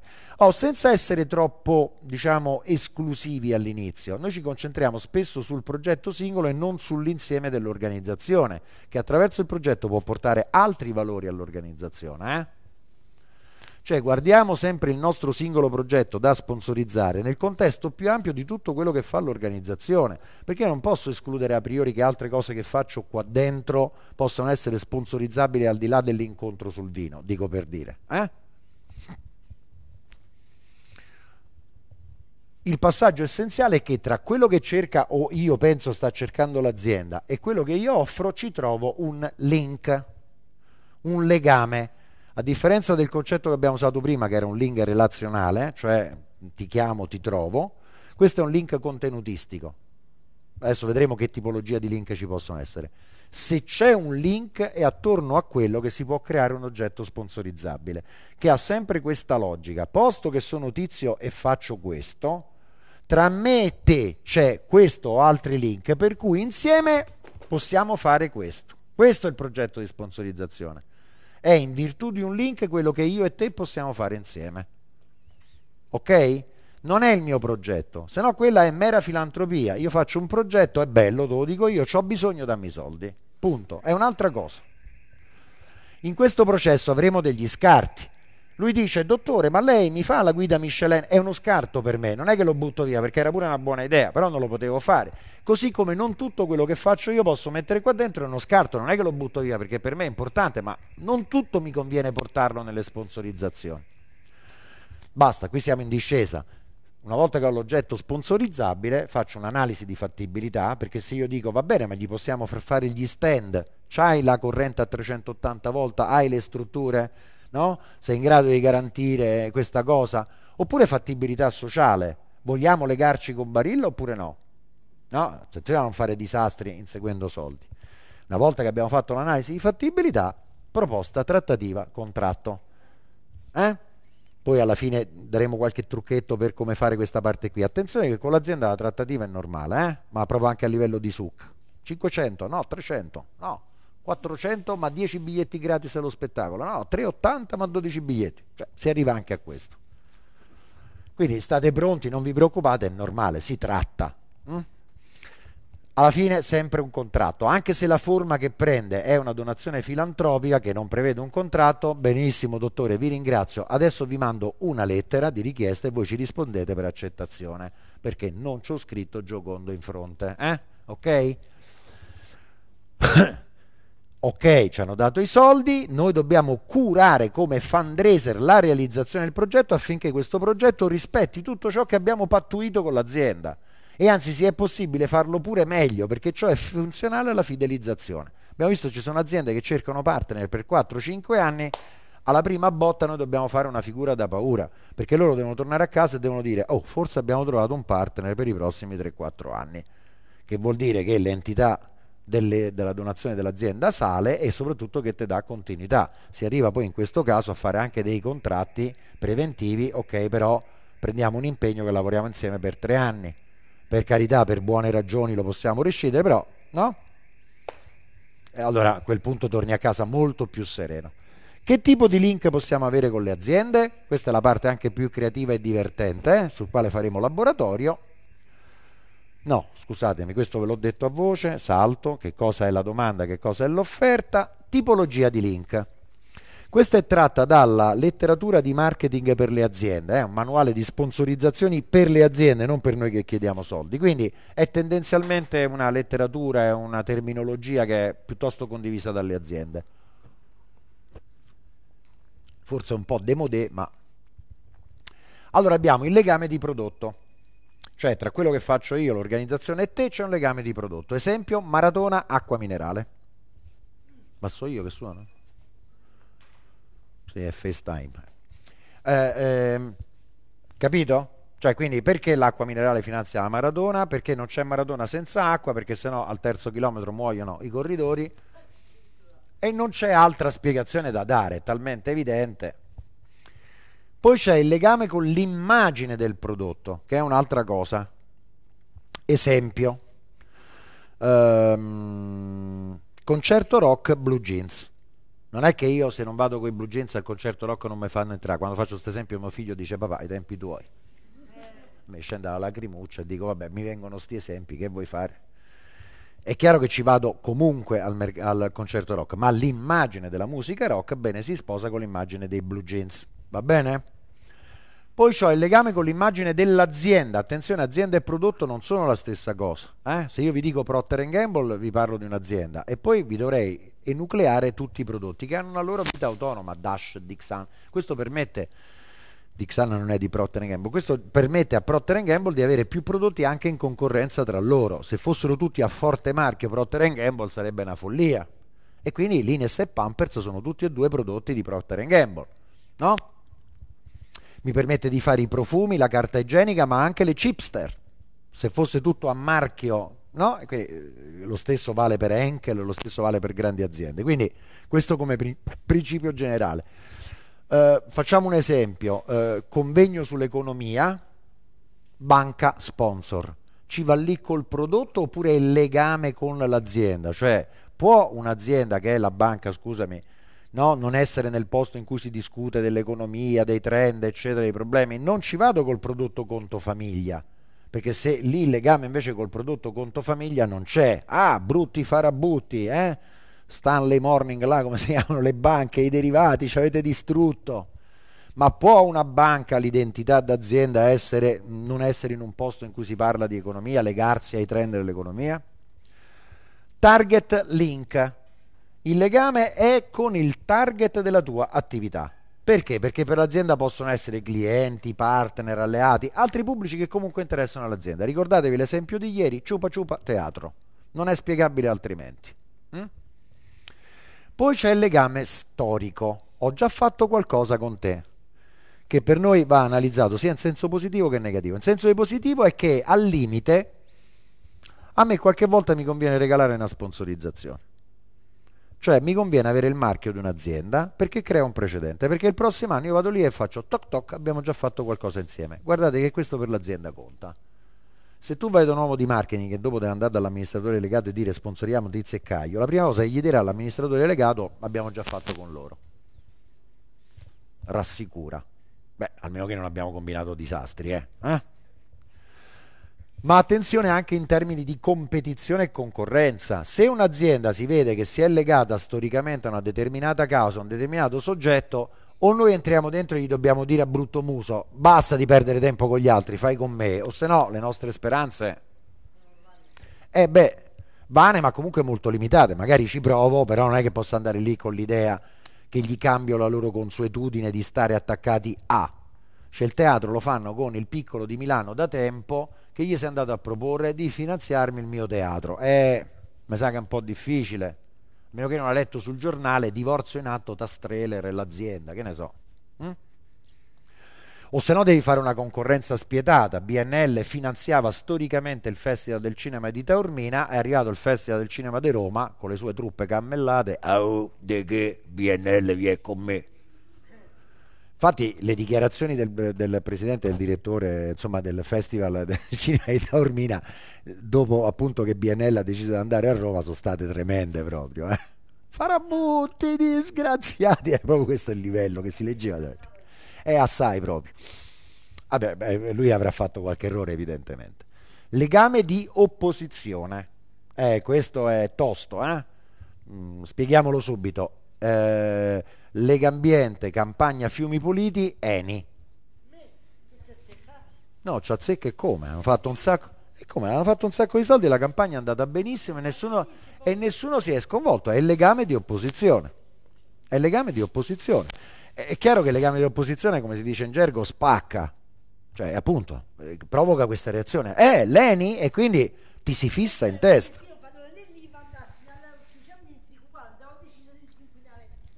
Ho capito.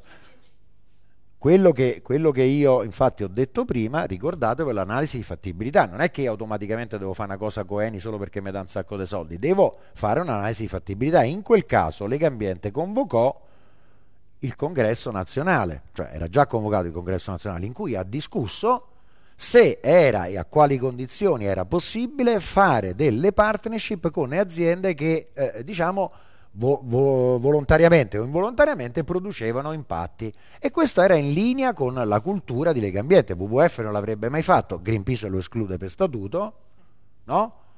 Lega Ambiente ha un altro tipo di approccio, più politico, no? è più posizionata non nel duro e puro, è più posizionata nel cerchiamo di cambiare insieme il mondo. Affari loro, non è che dobbiamo sindacare se è giusto o sbagliato, eh? Quindi ha fatto alzare la mano al congresso e ha visto che il 98% era d'accordo, un 2% di duri e puri se ne sono andati via, tanto se ne sarebbero andati via per altri motivi, non è che bisogna essere sempre tutti quanti d'accordo e la cosa è stata fatta, nessuno si è sconvolto, è andata molto bene.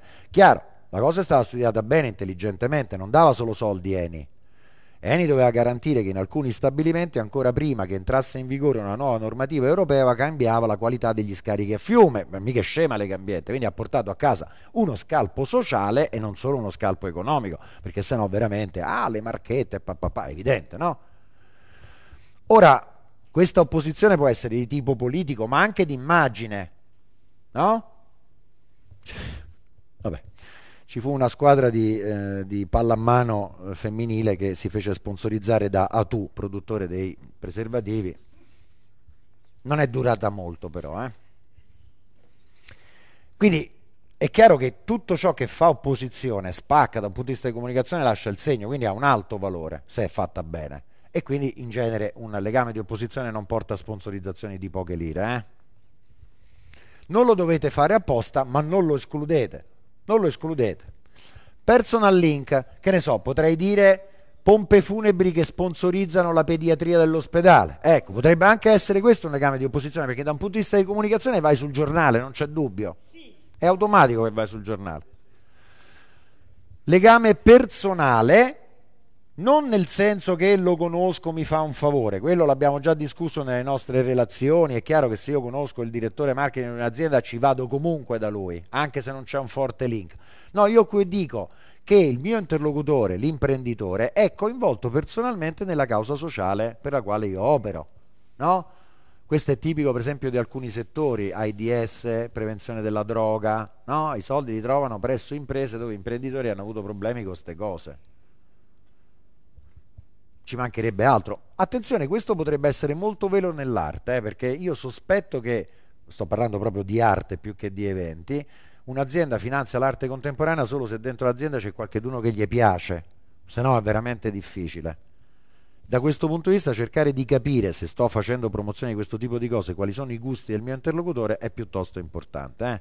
perché non è impossibile, l'ho fatto con una mostra di arte contemporanea anche con autori molto importanti, eh? ma veramente molto molto importanti, da andare di aziende che proprio non te seguivano, perché per loro l'arte contemporanea faceva schifo e non guardavano neanche la bontà del progetto dal punto di vista di comunicazione, non guardavano manco i nomi degli artisti, vi stavo parlando di Yoko Ono, Kun Ellis, cioè insomma non è robetta, eh? proprio un cefalogramma piatto, zero. Geographic link. Il legame sta perché stiamo tutti e due sullo stesso territorio, insistiamo sulla stessa comunità. Una volta negli anni, fino agli anni 50, 60, anche 70, è stato usato dalle aziende in maniera schifosa questa cosa qui, no? Eh, Montedison eh, o Enichem, non mi ricordo più chi era, a Priolo Gargallo, che è in provincia di Siracusa, che è stato il, polo, il secondo più grande polo petrolchimico d'Europa, a più alto rischio, e gli ha dato tutto a Priolo Gargallo, che è un paese che, di pescatori che non esiste più, è adesso un caseggiato di operai, lo era perché poi hanno tutte chiuse queste aziende, però al Priolo Gargallo gli aveva dato uno stadio tenso struttura fichissimo, la migliore squadra di basket femminile che manco sapevano che era il basket femminile là, infatti erano due russe, una cubana, quattro americane, no? E poi c'era il playmaker siciliano, tutto, tutto, tutto, tutto, tutto eh? che ha vinto per 3-4 anni di seguito il, eh, il, campionato europeo di basket. E quindi era proprio la mera restituzione, no? Anche neanche tanto intelligente, almeno Coca-Cola ad Atalanta ha fatto gli asili, le biblioteche, no? Mm, però la logica era quella. Io in qualche modo ho vinto, anche depredando, comunque grazie al territorio, restituisco al territorio. Spesso un piatto di lenticchie, però restituisco. Invece con la responsabilità sociale d'impresa questo ha preso assolutamente una linea molto più interessante, cioè io sto in un territorio, sono cittadino di quel territorio, faccio parte della comunità e quindi la mia attenzione è col territorio. Mi interessa meno dei bambini, ma se il territorio mi dice bambini, io faccio bambini perché il mio link è con la comunità territoriale. E non conosco il basket Brindisi, quindi non posso risponderti. Finché la logica ci sostiene esiste anche no link. Un'azienda ha dato dei soldi a qualcuno e non si capisce perché.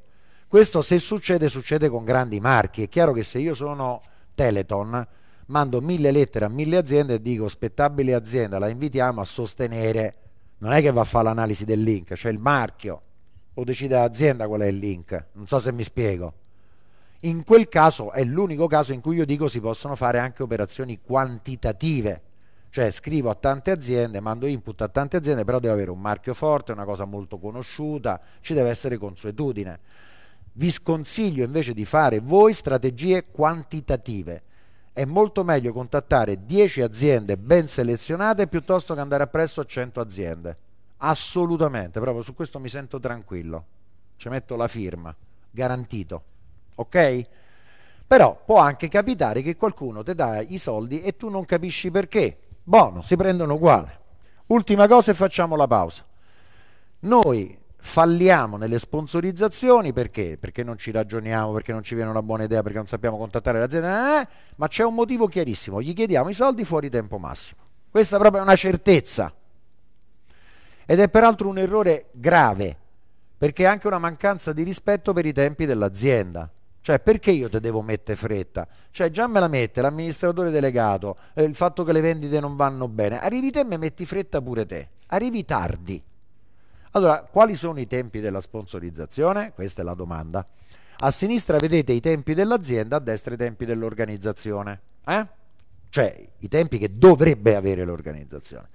Anche questi sono i tempi che dovrebbe avere l'azienda, eh, perché pure le aziende predicano bene e razzolano male, però razzolano meno male di noi da questo punto di vista.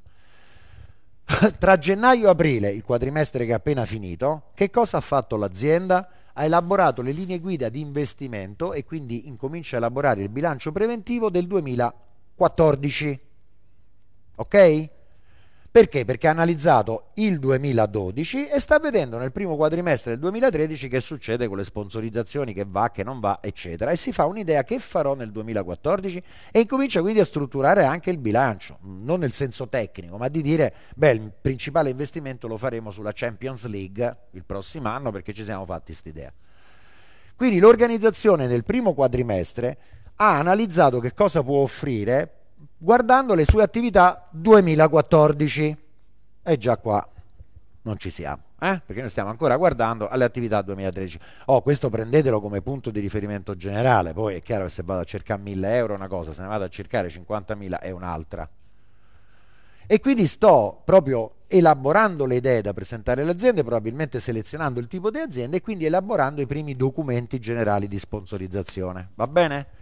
Perché tra maggio e agosto, cioè in questo periodo, l'azienda sta decidendo che cosa farà nel 2014 e quindi sta decidendo lo faccio con le carte del Salento piuttosto che...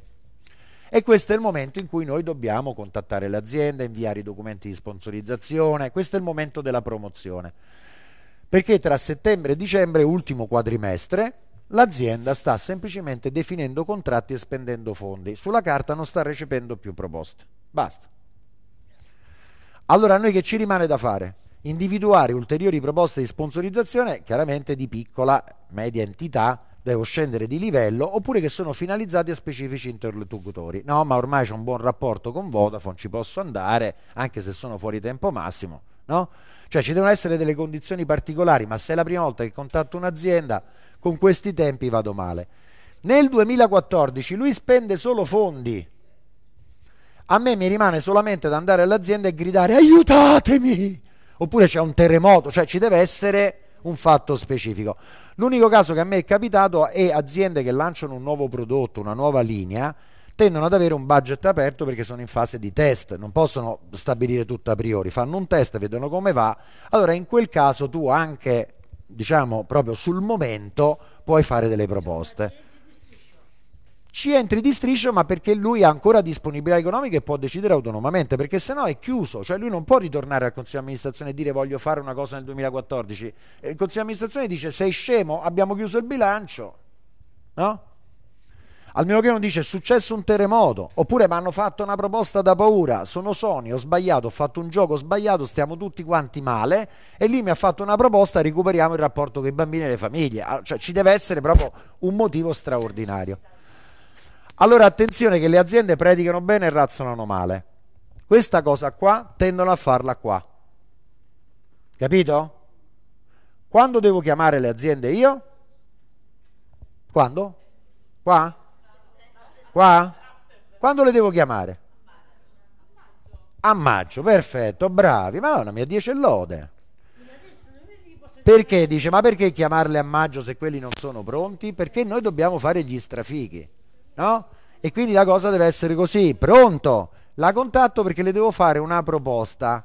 Cioè, e lui risponderà: Ma no, ma abbiamo già chiuso il bilancio. No, scusi, ma che cosa ha capito? Per il 2014, no? Evidente. Eh, dico, ma che, che me fa? Me lo dite lei? Ah, per il 2014. Eh, beh, senta, guardi, noi veramente periodo di crisi, stiamo rivedendo un po' i nostri progetti, ancora non abbiamo le idee chiare, ma non si preoccupi, dottore, per l'amor di Dio, ci mancherebbe altro. Quando è che più o meno avrete diciamo le idee, avrete conformato, ma penso per la metà di ottobre, dirà lui. No? Perfetto. Quando la chiamo? Il 12 di ottobre? Agenda alla mano, la chiamo, cioè gli dovete stare col fiato sul collo. Questa è la strategia piede nella porta. Lui apre uno spiraglio, ci mettete il piede, sperate che lui non sia violentemente, non chiude la porta, perché dovete, già questo vi aiuta a tenere le fila diciamo, del, del, rapporto. E sicuramente, perché se noi altrimenti non rispettiamo i tempi, noi diamo eh, eh, su un piatto d'argento all'azienda la possibilità di dirci no. Capito? L'azienda se può dirvi no a priori, non analizzare un progetto, non doversi andare l'anima a sentire che cosa ne pensa la comunicazione, lo preferisce perché la sua cosa principale è vendere, quindi questa roba non gli cambia veramente la vita. Risparmia tempo, meno rogne. Anche perché se l'azienda è seria e ti dice sì, mi mandi qualche cosa, poi deve rispondere. Eh? Perché è brutto non rispondere. Adesso anche gli uomini d'azienda hanno la loro etica, eh? Anche perché poi gira voce, anche tra noi fandrese, no? lascia perdere quello. Io ce n'ho alcuni che proprio mai in pubblico, però insomma dico ad altri miei colleghi e altri invece che sono veramente delle persone serie, ma tanto di cappello, dei grandi professionisti. E io quando li incontro sono L'altra cosa ti posso dire proprio due consigli al volo mentre andiamo a fare la pausa, veramente. Primo, un'azienda darà una sponsorizzazione se ci sarà un incontro di persona. La sponsorizzazione per corrispondenza non esiste, quindi la prima cosa che voi dovete chiedere è l'incontro, ancora prima di mandare materiale. Poi lui vi dirà non te posso incontrare, mandami qualche cosa. Sì, te lo mando, ma quello che voglio da te è un incontro. Se un'azienda non arriva mai ad avere un incontro con te, dopo 3-4 botte staccate la spina perché automatico non vi darà i soldi. Ok? Questa è la prima cosa. La seconda cosa, invogliate l'interlocutore a darvi comunque una risposta per quanto negativa.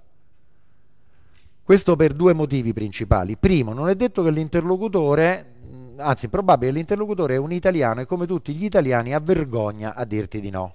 Gli fa problema. È un problema di autostima, gli dispiace, non vuole avere sta rogna, cioè, su cose più importanti, non gli devo dire no, non mi va. No?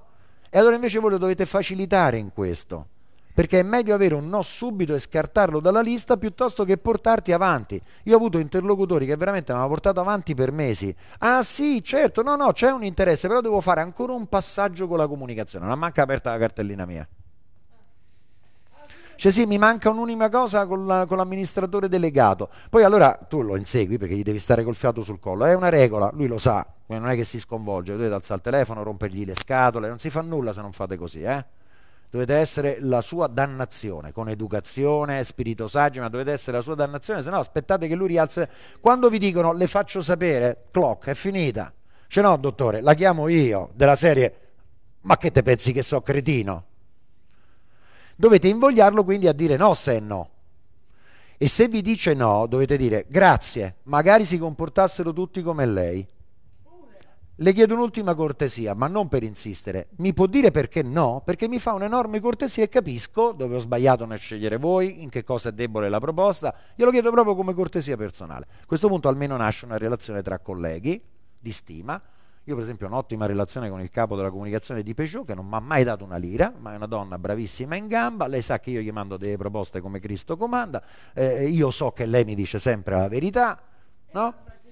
l'unica persona che mi ha richiamato per aggiornarmi della mia pratica, quindi voglio dire, si creano anche delle relazioni, l'unica persona alla quale io posso dire guarda ho un'idea, a te ti viene in mente qualcuno che può essere interessato a questa idea? Ecco, quindi queste contano, eh, perché poi in questo mondo siete un operatore. Voi, se in questo mondo vi affermate, incominciate ad essere una specie di ancora di salvezza per le aziende, perché l'azienda poi che decide di sponsorizzare non è che ha tutte le idee chiare, è capace che te chiamano per avere un consiglio, eh? ok? Va bene signori, allora noi delle cose essenziali di quello che abbiamo detto, con l'aiuto del booklet, dopo la pausa, che è rigorosamente di un'ora, quindi l'abbiamo iniziata mezz'ora dopo, esatto, riprendiamo alle due e mezza direttamente con il laboratorio. Quesseria, non, non ho la pennetta. Che Dio vi benedica sempre. Sono consapevole che tutto ciò avrà un prezzo. Sì, no, nella pausa, nella pausa, è che se no altrimenti a Ryanair mi fanno dei problemi mostruosi, purtroppo.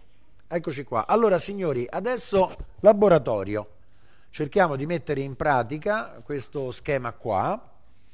Non possiamo fare più di tanto analisi della domanda, però insomma cercheremo di arrivarci ad intuito e perché no, limite quando avremo individuato un'azienda a intuito, vediamo se riusciamo a prendere qualche informazione sul loro sito. Invece quello che vi chiedo di fare è, in effetti forse è meglio che faccio prima rivedere questa, ecco, innanzitutto queste cose qui peraltro le trovate nel booklet, eh, sono le cose, le due o tre cose minime che vi chiediamo nel booklet, siamo arrivati alla raccolta fondi da aziende, la prima cosa che ho, oh, innanzitutto scusatemi, io ho bypassato una cosa che diamo abbastanza per scontato, quanti soldi dobbiamo trovare nell'ottica del fundraising per fare tutte le cose che noi vogliamo fare qui nel Museo del Gusto? Eh beh, ognuno si deve porre un, più o meno un obiettivo economico perché poi la strategia se no... Esatto. 8.000 euro al mese, quindi dobbiamo trovare partner di diversa natura o fondi da individui, eccetera, per 2 per 8, 16, 96, 100.000 euro l'anno ok? Alla grossa, perfetto. Voi quanto vi serve? Siamo attestati sui 25.000. 25.000 per quale obiettivo? Per uh, una risatura di 5.000 che ci permette la copertura, diciamo, dell'attività dell'estate e la copertura del fabbisogno per la Ah, ma quindi diciamo che voi con, la carta volete, con le carte volete finanziare qualche cos'altro? Questi sono i costi per mettere in produzione a un livello adeguato la carta. Il mazzo. Il mazzo. Che questo insieme c'è la Ok, ok, ok, ok. L'idea è quella di tirare fuori i soldi necessari per essere sostenibili, quindi avere già pronti, Bene. Ecco, però voi a differenza degli altri diciamo che dovendo andare a finire un'operazione di mercato, con 25.000 euro voi sul mercato ne avreste? 40.000. Ok, questo è quello che volevo sentirmi dire. Ok. Perché voi sareste nella condizione che se questo qui è un valido business plan, un investitore ci mette 25 e ne recupera 30 per dire, no? Ok? Come logica, poi valla a trovare. Eh? Però come logica è questa. Allora, voi invece quanto dovete trovare nel fundraising? 5.000. E eh, che, eh, vabbè, dai, che ne parliamo a fare? 5.000, un giro, un giro di telefonate è fatto, dai. Va bene? Cioè, Ok, lì infatti bisogna essere molto attenti, fare un budget completo, quello che possiamo mettere in beni e servizi. Attenzione, lo dico proprio per inciso, se poi vado da un'azienda per chiedergli 5.000, io comunque gli devo portare o gli devo comunicare a lui che il valore di quello che produco è molto di più, perché io devo dare il valore economico a beni, servizi, lavoro volontario. Lui deve capire che con 5.000 euro sale su una macchina da 100.000 euro. Eh? Certo. Quindi... Mh, questo bisogna sempre mantenerlo fermo perché uno se fa solamente il conto di cassa, grazie, noi abbiamo volontariato, eh, servizi gratuiti, eccetera, siamo molto bravi in questo e quindi spesso appare che il valore di quello che noi facciamo è più piccolino, mentre invece non è vero. Voi invece dovete trovare 5.000 euro, vabbè dai, eh, almeno non abbiamo proprio una cosa, eh? tanto per iniziare. 5, 520, ottimo. Benissimo, allora la prima cosa allora, voi seguite adesso in questo laboratorio con il quale io sarò molto più a contatto con voi, perché si tratta appunto di fare un po' di brainstorming. Prima cosa, cerchiamo di capire alla grossa, adesso guardiamo solo le aziende, eh, cancellate dalla testa individui o altro. Quali sono, dove ci abbiamo i maggiori valori da portare? Dove mm, dobbiamo puntare principalmente? Eh? Potrebbe anche essere più di una cosa. Il primo schema vi chiede proprio di fare questo, cioè di andarvi a fissare per ognuno di queste diciamo, motivazioni che potrebbero spingere un'azienda dov'è che io ho delle cose da offrire. Le caselle bianche in cui non c'è niente da offrire sono benvenute. Eh? Se voi prendete il booklet ve ne rendete conto. Siamo, sì, 9, 10, qualcosa del genere. Ecco, mi metto vicino a un booklet che così sono più preciso. Gira, gira. Gira. Costruiamo la sponsorizzazione. Dove sta? Hai stampato fino a qua perché era finita la carta. Va bene, ok. Ciao. Com'era la storia sui maschi? Siamo a pagina 9, dai, è vero, su.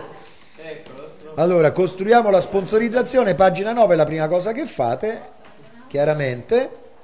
Ecco, io vi ho rimesso alcuni esempi di assets che un'organizzazione, punti di forza, che un'organizzazione potrebbe avere in relazione a quei singoli aspetti che abbiamo detto e dopodiché facciamo questo lavoro di link, cioè seguitemi bene che questa è un'istruzione di lavoro pratico, eh, non, è una, non è una lezione. Allora, io per trovare le aziende posso fare diversi itinerari, poi alla fine facciamo un riassunto di questo. Allora, o parto dal mio progetto e mi domando quello che faccio, quello che sono io, con chi potrebbe avere un link, quindi parto da casa mia Ciao, ma questo interessa la telefonia? Ok, segniamocelo.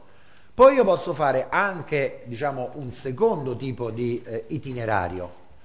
Ho nel mio capitale relazionale, ecco perché il discorso deve essere fatto molto realistico, un'azienda, conosco un'azienda e faccio il processo all'incontrario, mi dico quell'azienda che produce pasta o che produce vino o che produce automobili, che link potrebbe avere con quello che faccio io?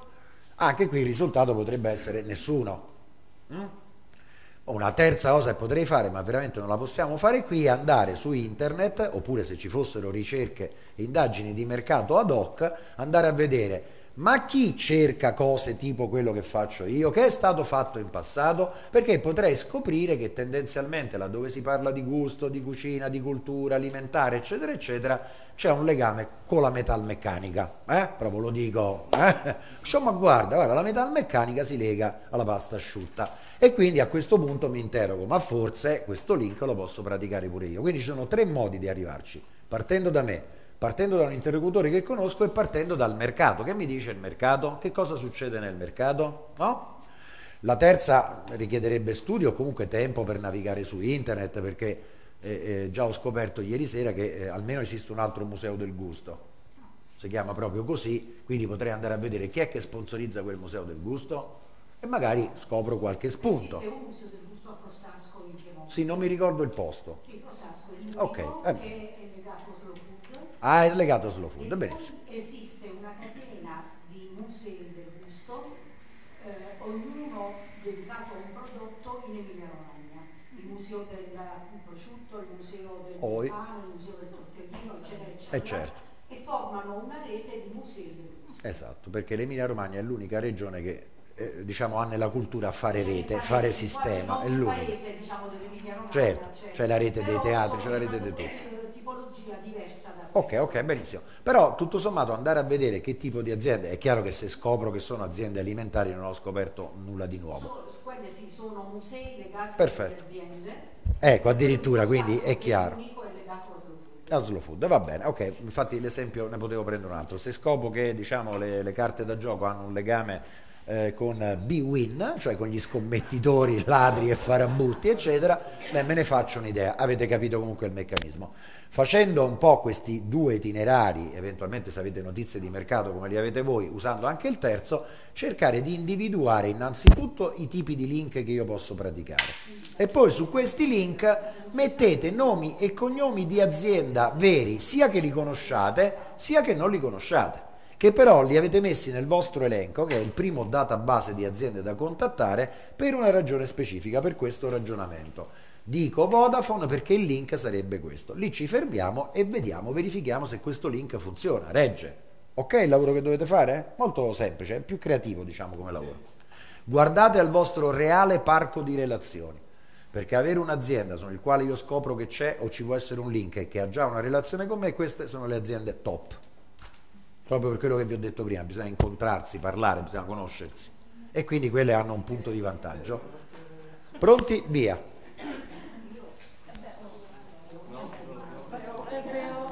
Anche qui ci diamo una quarantina di minuti, eh?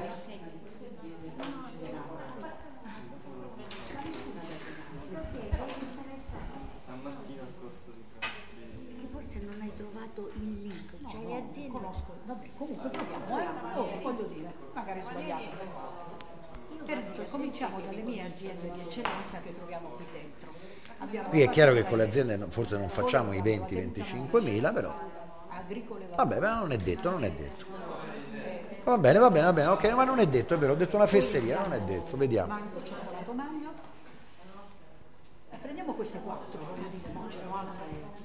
Eh, azienda Guarini.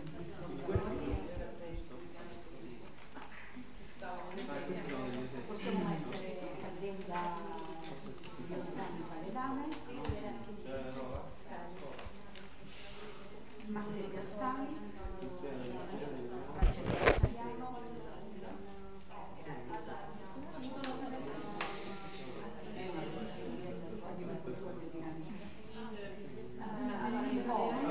Sì, aspetta un attimo solo, eh? Sì, un attimo, un attimo che...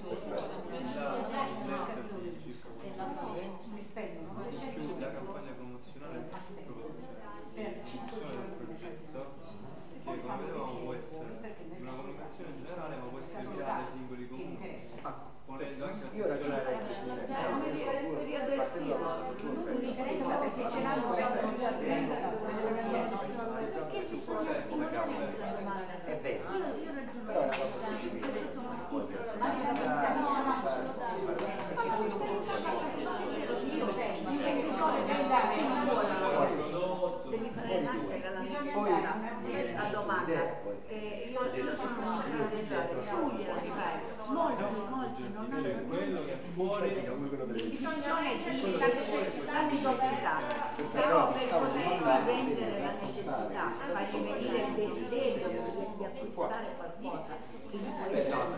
Come dice, dovresti studiare perché all'esterno chiedi direttamente quali sono i le tue problematiche, quanto vuoi fare. Da una analisi che fai del cliente, con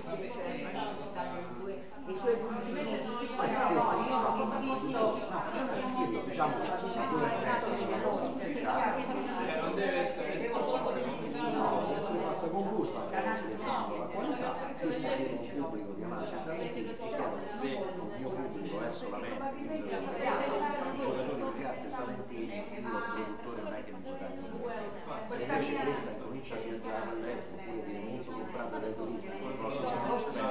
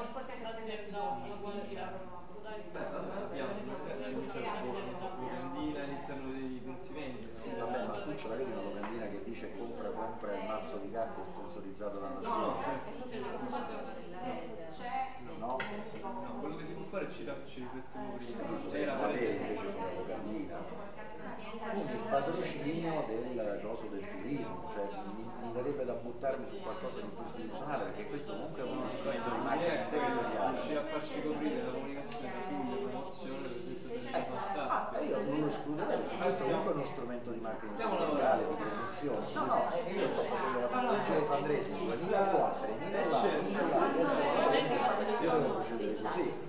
C'è una piccola idea, è venuta ragionando per cui parlare. Sulla c'era un forte produttore, un'azienda di Corriano, sono gli alberi di Corriano. Siccome c'è eh, questa simbologia che sono i galletti, galletti sì. che è, eh,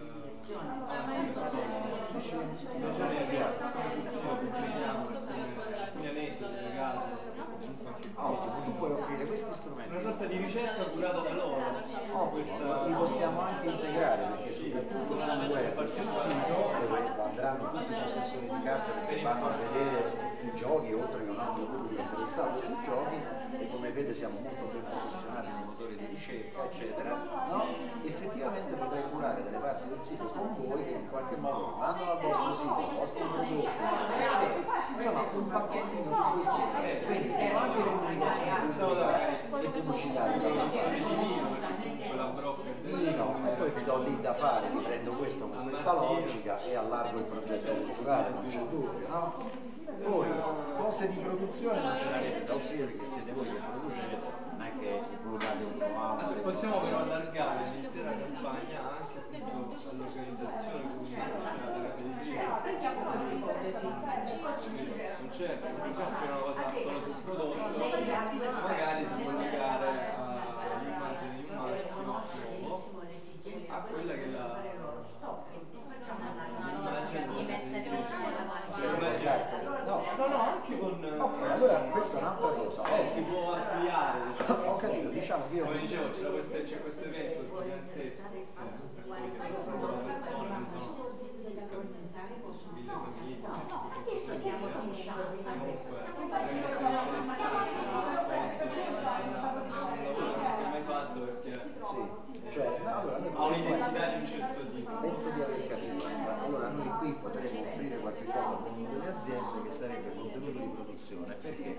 siamo una casa editrice che in qualche modo è un'agenzia che sia specializzata su modi innovativi e diciamo diversificati di promozione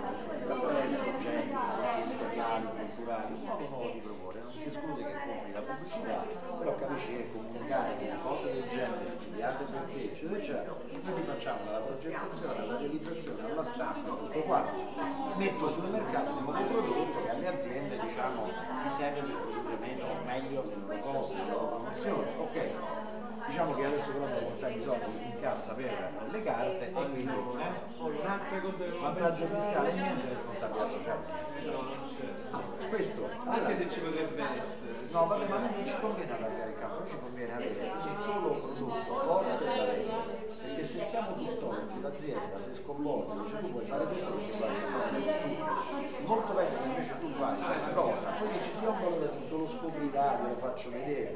Però io ti vendo tu vuoi prosciutto ciò prosciutto. Se io gli dico tu vuoi prosciutto ciò prosciutto ma anche il formaggio ma anche la coppa tu sei sconvolto io vado a cercare il prosciutto.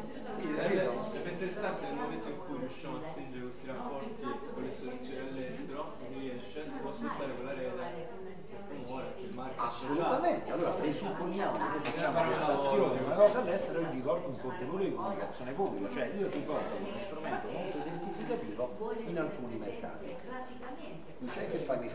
No, no, it's not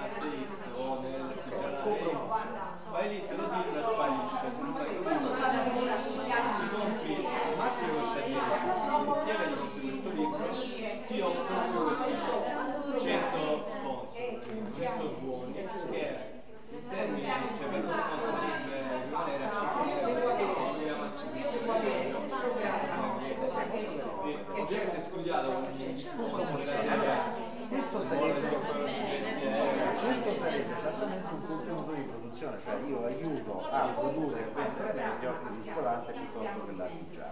Insomma ce l'avete diversi. L'unica che non c'è sì, però ci vuole avere un fundraiser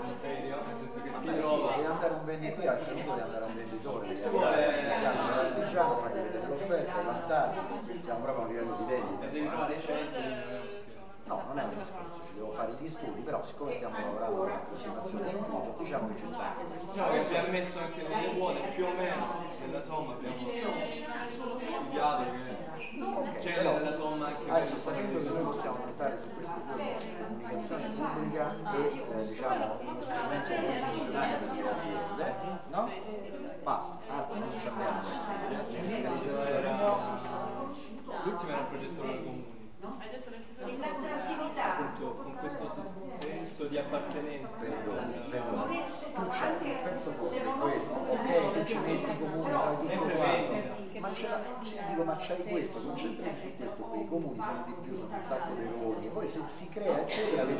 venderla al mercato. C'hai questo, tornerà con i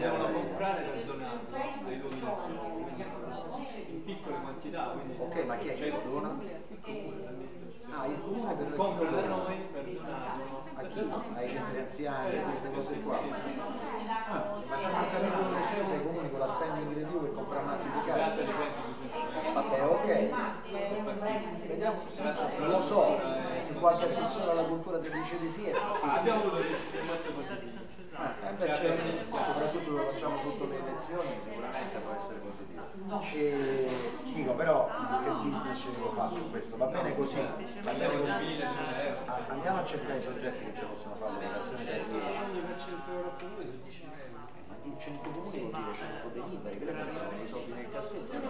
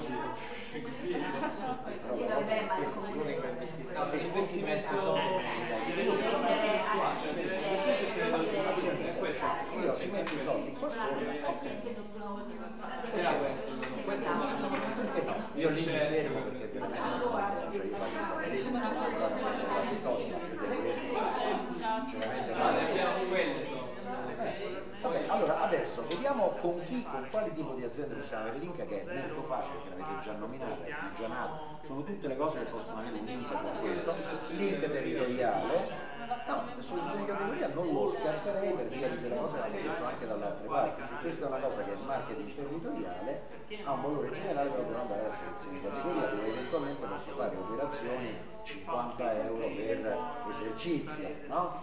E quindi dice, beh, tra i tanti investimenti che faccio, io devo fare il pubblico, eh, promozione pubblica, promozione, eccetera, eccetera, di investire su questo per fare di sostenere questo per fare materiale. Però cominciamo a fare delle cose che dopo valutiamo, ma ci siamo. Allora, a che punto siamo? Che abbiamo da offrire?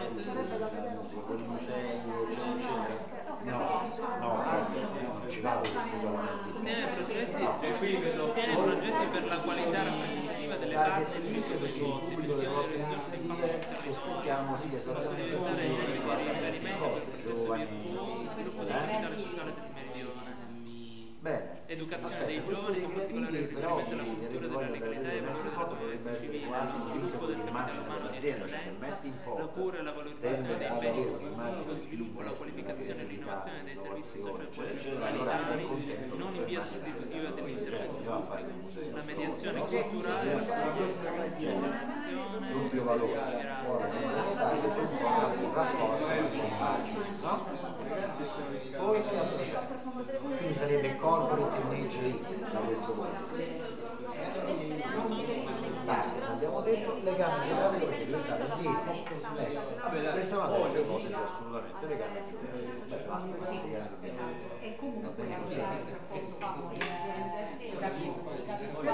Giovanna Monte sarebbero esigenze di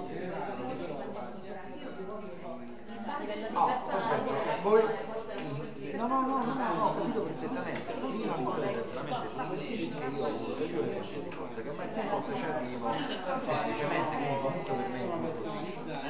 Al limite non trovo il link, che ci possa arrivare. Però è meglio se secondo me là con progetto interessante, no, o entri in difficoltà di qualità massima, oppure mi dice no, non è che basta, non siamo amici, non siamo pazienti. Quindi così il cosa è incattata. Adesso se i punti sono questi, dobbiamo pensare che cosa offriremo a Matt Bot che sia per lui un vantaggio, un'opportunità, insomma qualche cosa che si è comprato senza buttare i soldi e qui al limite si ritorna anche sulla creatività perché una cosa assolutamente ovvia gira in poca parte della cosa e dai premi oppure intelligentemente il premio dovrebbe essere un'opportunità di formazione benissimo questa formazione ragazzi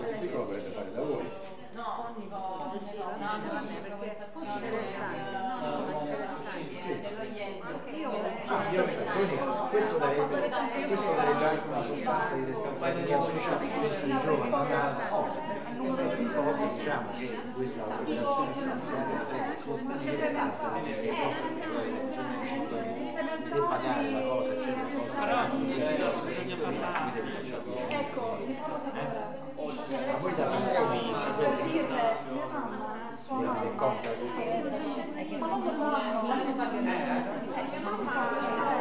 no quello è perfetto ma anche che gareggiano carcere. Allora, metti in poca cosa più scontata è quello che va a fare il di che si parla, si fa vedere.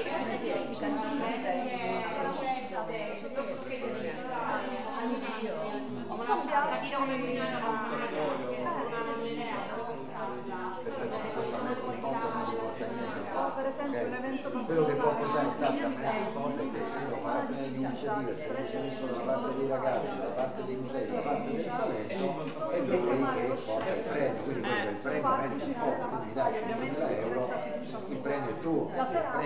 in per, il signore metti in pot sale insieme al direttore del progetto al vincitore dice la sua, l'importanza per noi, abbiamo fatto anche questo. Questa è una cosa più tradizionale, ci sta però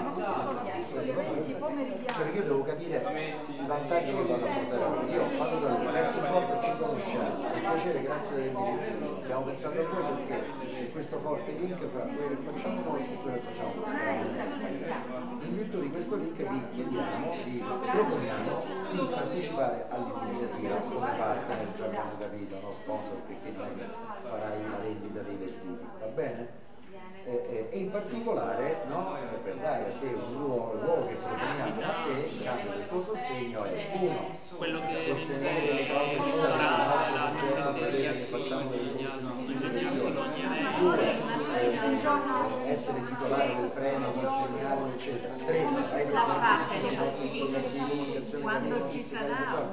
diamo per scontato perché comunque lo si vede, da solo non sono sempre e basta, e vediamo se ci abbiamo altro da offrirgli senza far salire enormemente il nostro fabbisogno economico, no? che, essere- che può essere per lui un vantaggio. Quindi ci vuole creatività.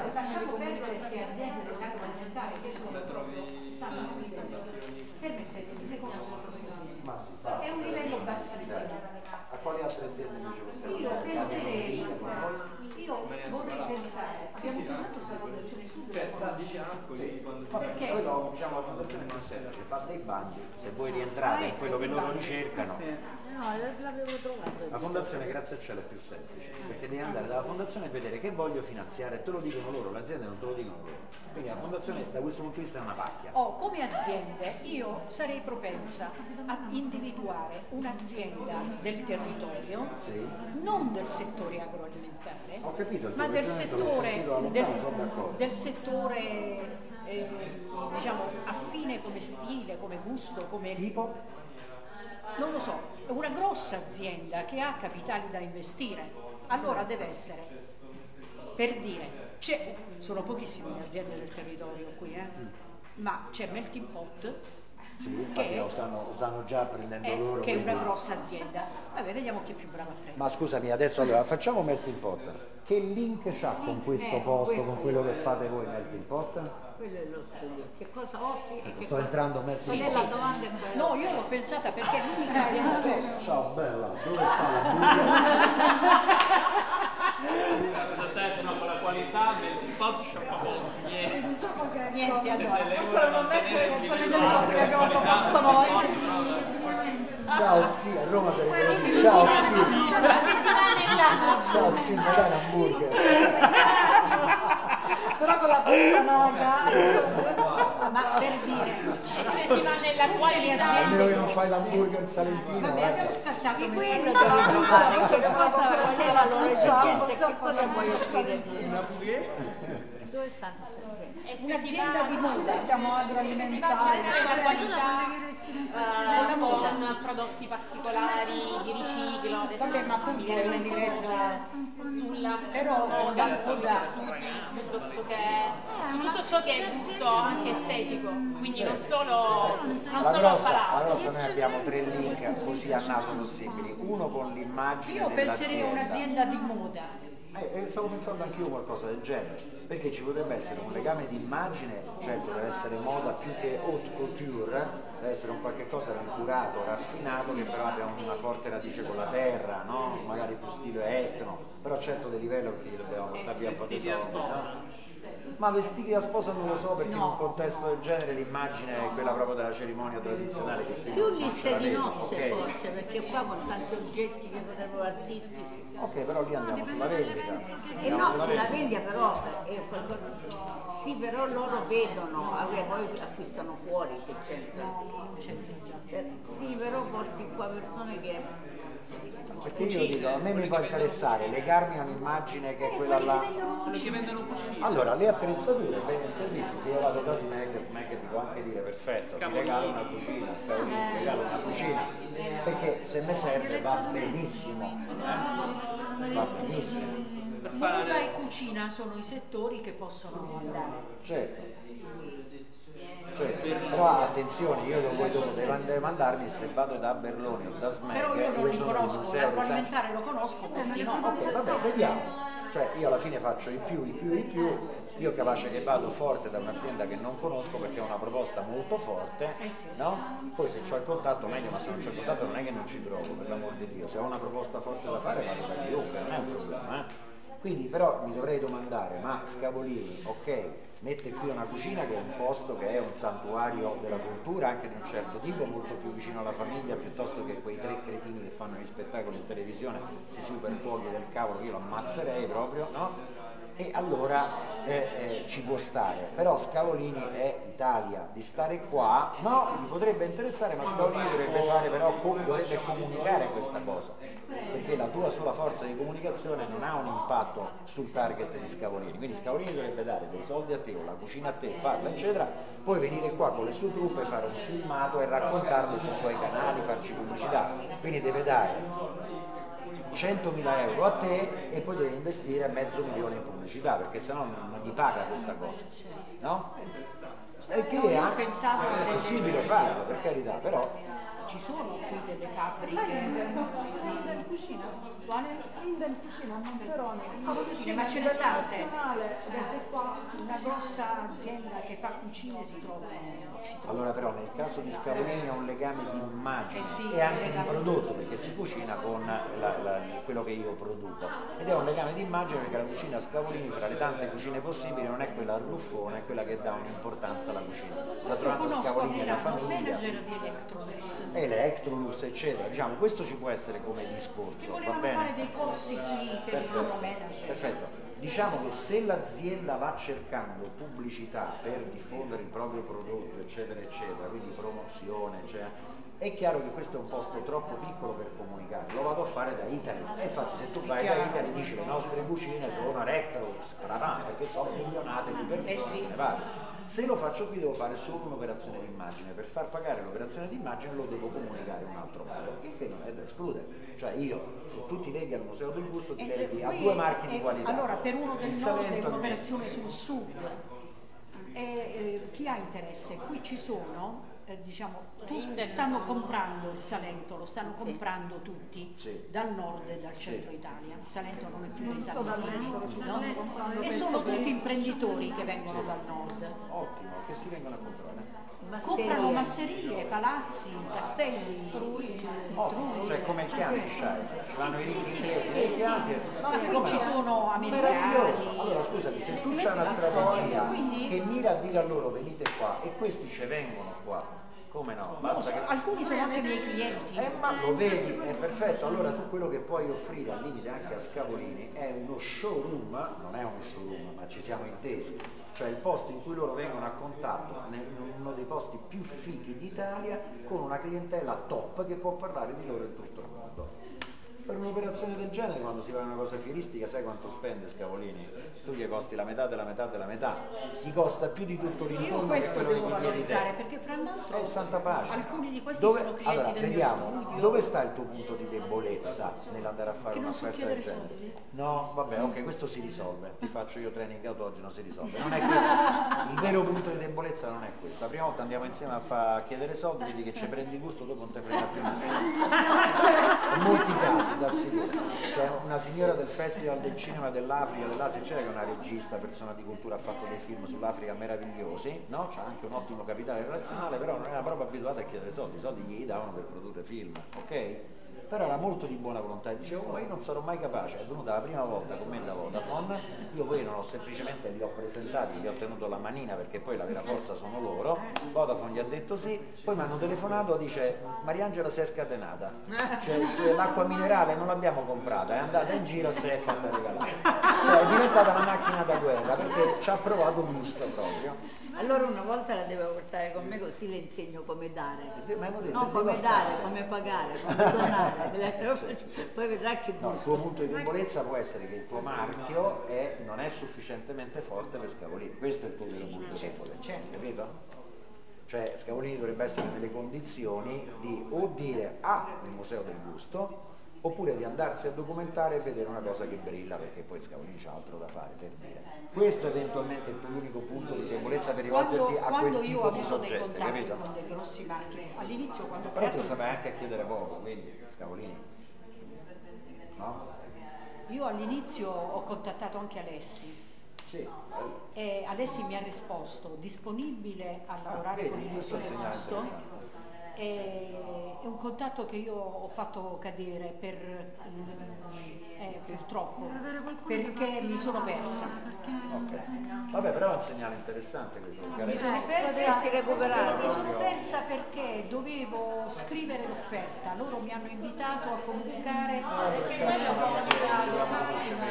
Eh sì, buono. Eh, ma si può recuperare, non detto. Loro volevano fare una piccola esposizione dei loro prodotti qui dentro, una vetrina Alessi e l'ho lasciato perdere. E riprendilo. Devo il con- provare a riprendere il contatto. Mi hanno scritto proprio dal, dal Guarda, un'altra nazionale. cosa che adesso mi sta venendo in mente è una cosa, Salento, la gente ci viene d'estate da tutto il mondo. Guarda, ci sono alcune aziende che hanno soldi da spendere solamente per incontrare i top client oppure la rete di vendita. Fai conto che li portano nel Salento e io sono il signore Electrolux. Electrolux chiama dei key persons per fare promozione nel mondo, li porta nel Salento, li fa fare il bagno, fa vedere il barocco eh, salentino e li porta qui in una serata sta dando un valore aggiunto enorme, ma li porta in un ristorante, li porta in un luogo di culto con le storie che tu avrai imparato tutte quante le lingue del mondo, tutte le lingue, cioè io spendo, io spendo anche milioni per fare una cosa del genere, se sono scavolini, capito? il pubblico di turisti. Di questo Che sono i costi Ma 100.000 adesso io sono vicina a questo pubblico, Perché quindi? Eh, Ma guarda, al limite Devo solo pubblico- lavorarci un po'. il pubblico te lo porta lui perché dice guarda io mi serve una location che però non sia solo un luogo fisico, no, una location dove sia molto significativo fare delle attività con i miei top client oppure con la mia rete di vendita. Oppure Ecco con per esempio, tornando al discorso che facevi prima, eh, eh, molti di questi, alcuni li conosco per lavoro, altri li conosco perché per esempio Benedetto Cavalieri mi porta personaggi incredibili d'estate qui, no? Sai qual è il mio consiglio che adesso non riuscirete a fare ma ci potete provare? Secondo me per quello che ho capito potrebbe essere buono incominciare a fare una lista ma proprio veramente agendina alla mano, scavando con tutti i contatti che tu puoi mettere in fila perché potresti Io essere... ce l'ho nel mio database. Eh, potresti essere portatore anche Devo- di un certo capitale sociale che non è che regali a destra e a manca. Allora, Scavolini può avere interesse, Scavolino quello che sia, avere interesse a un posto del genere per, primo, farci un ritorno d'immagine sul suo sito, Scavolini e il, eh, il Museo del Gusto. Sarebbe più contento se tu fossi un marchio già conosciuto tipo Italy, Slow Food, però per carità, perché tutti andare a fare Slow Food? Facciamo una cosa più particolare, più bella, più buona, eccetera, eccetera.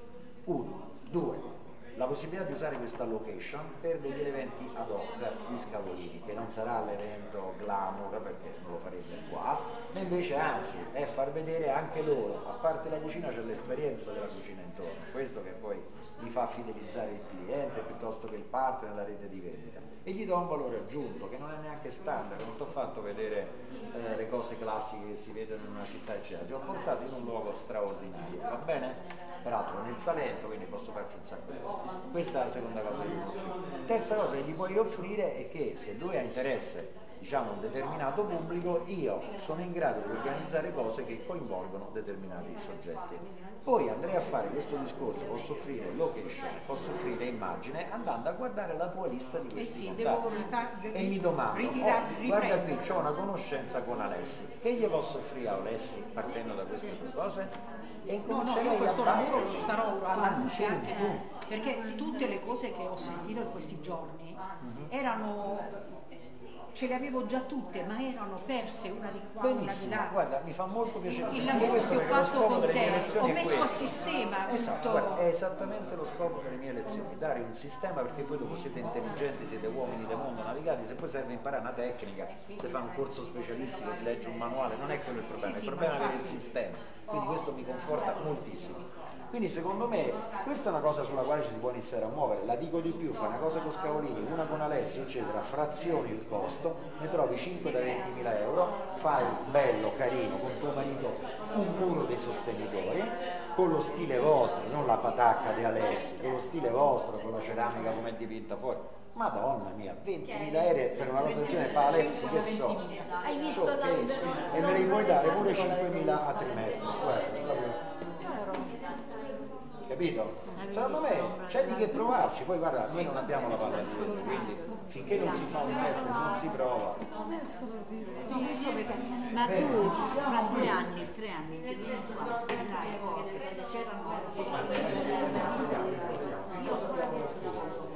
L'obiettivo è che ci limitare Che vuol dire cambia che si sono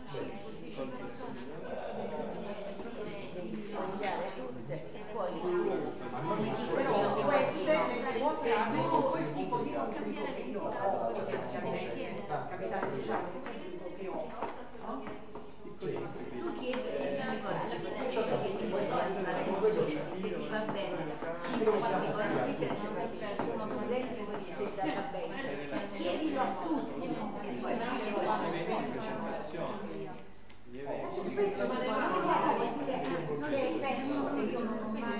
sì, ma non ti creare con i problemi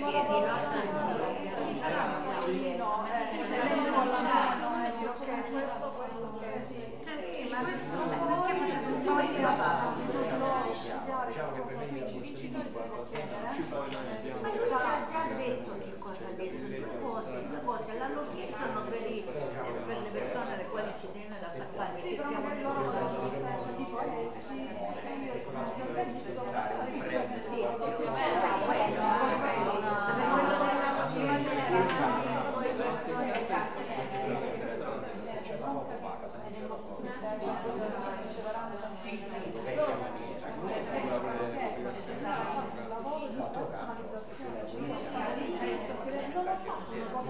我也是，我也是，我也是。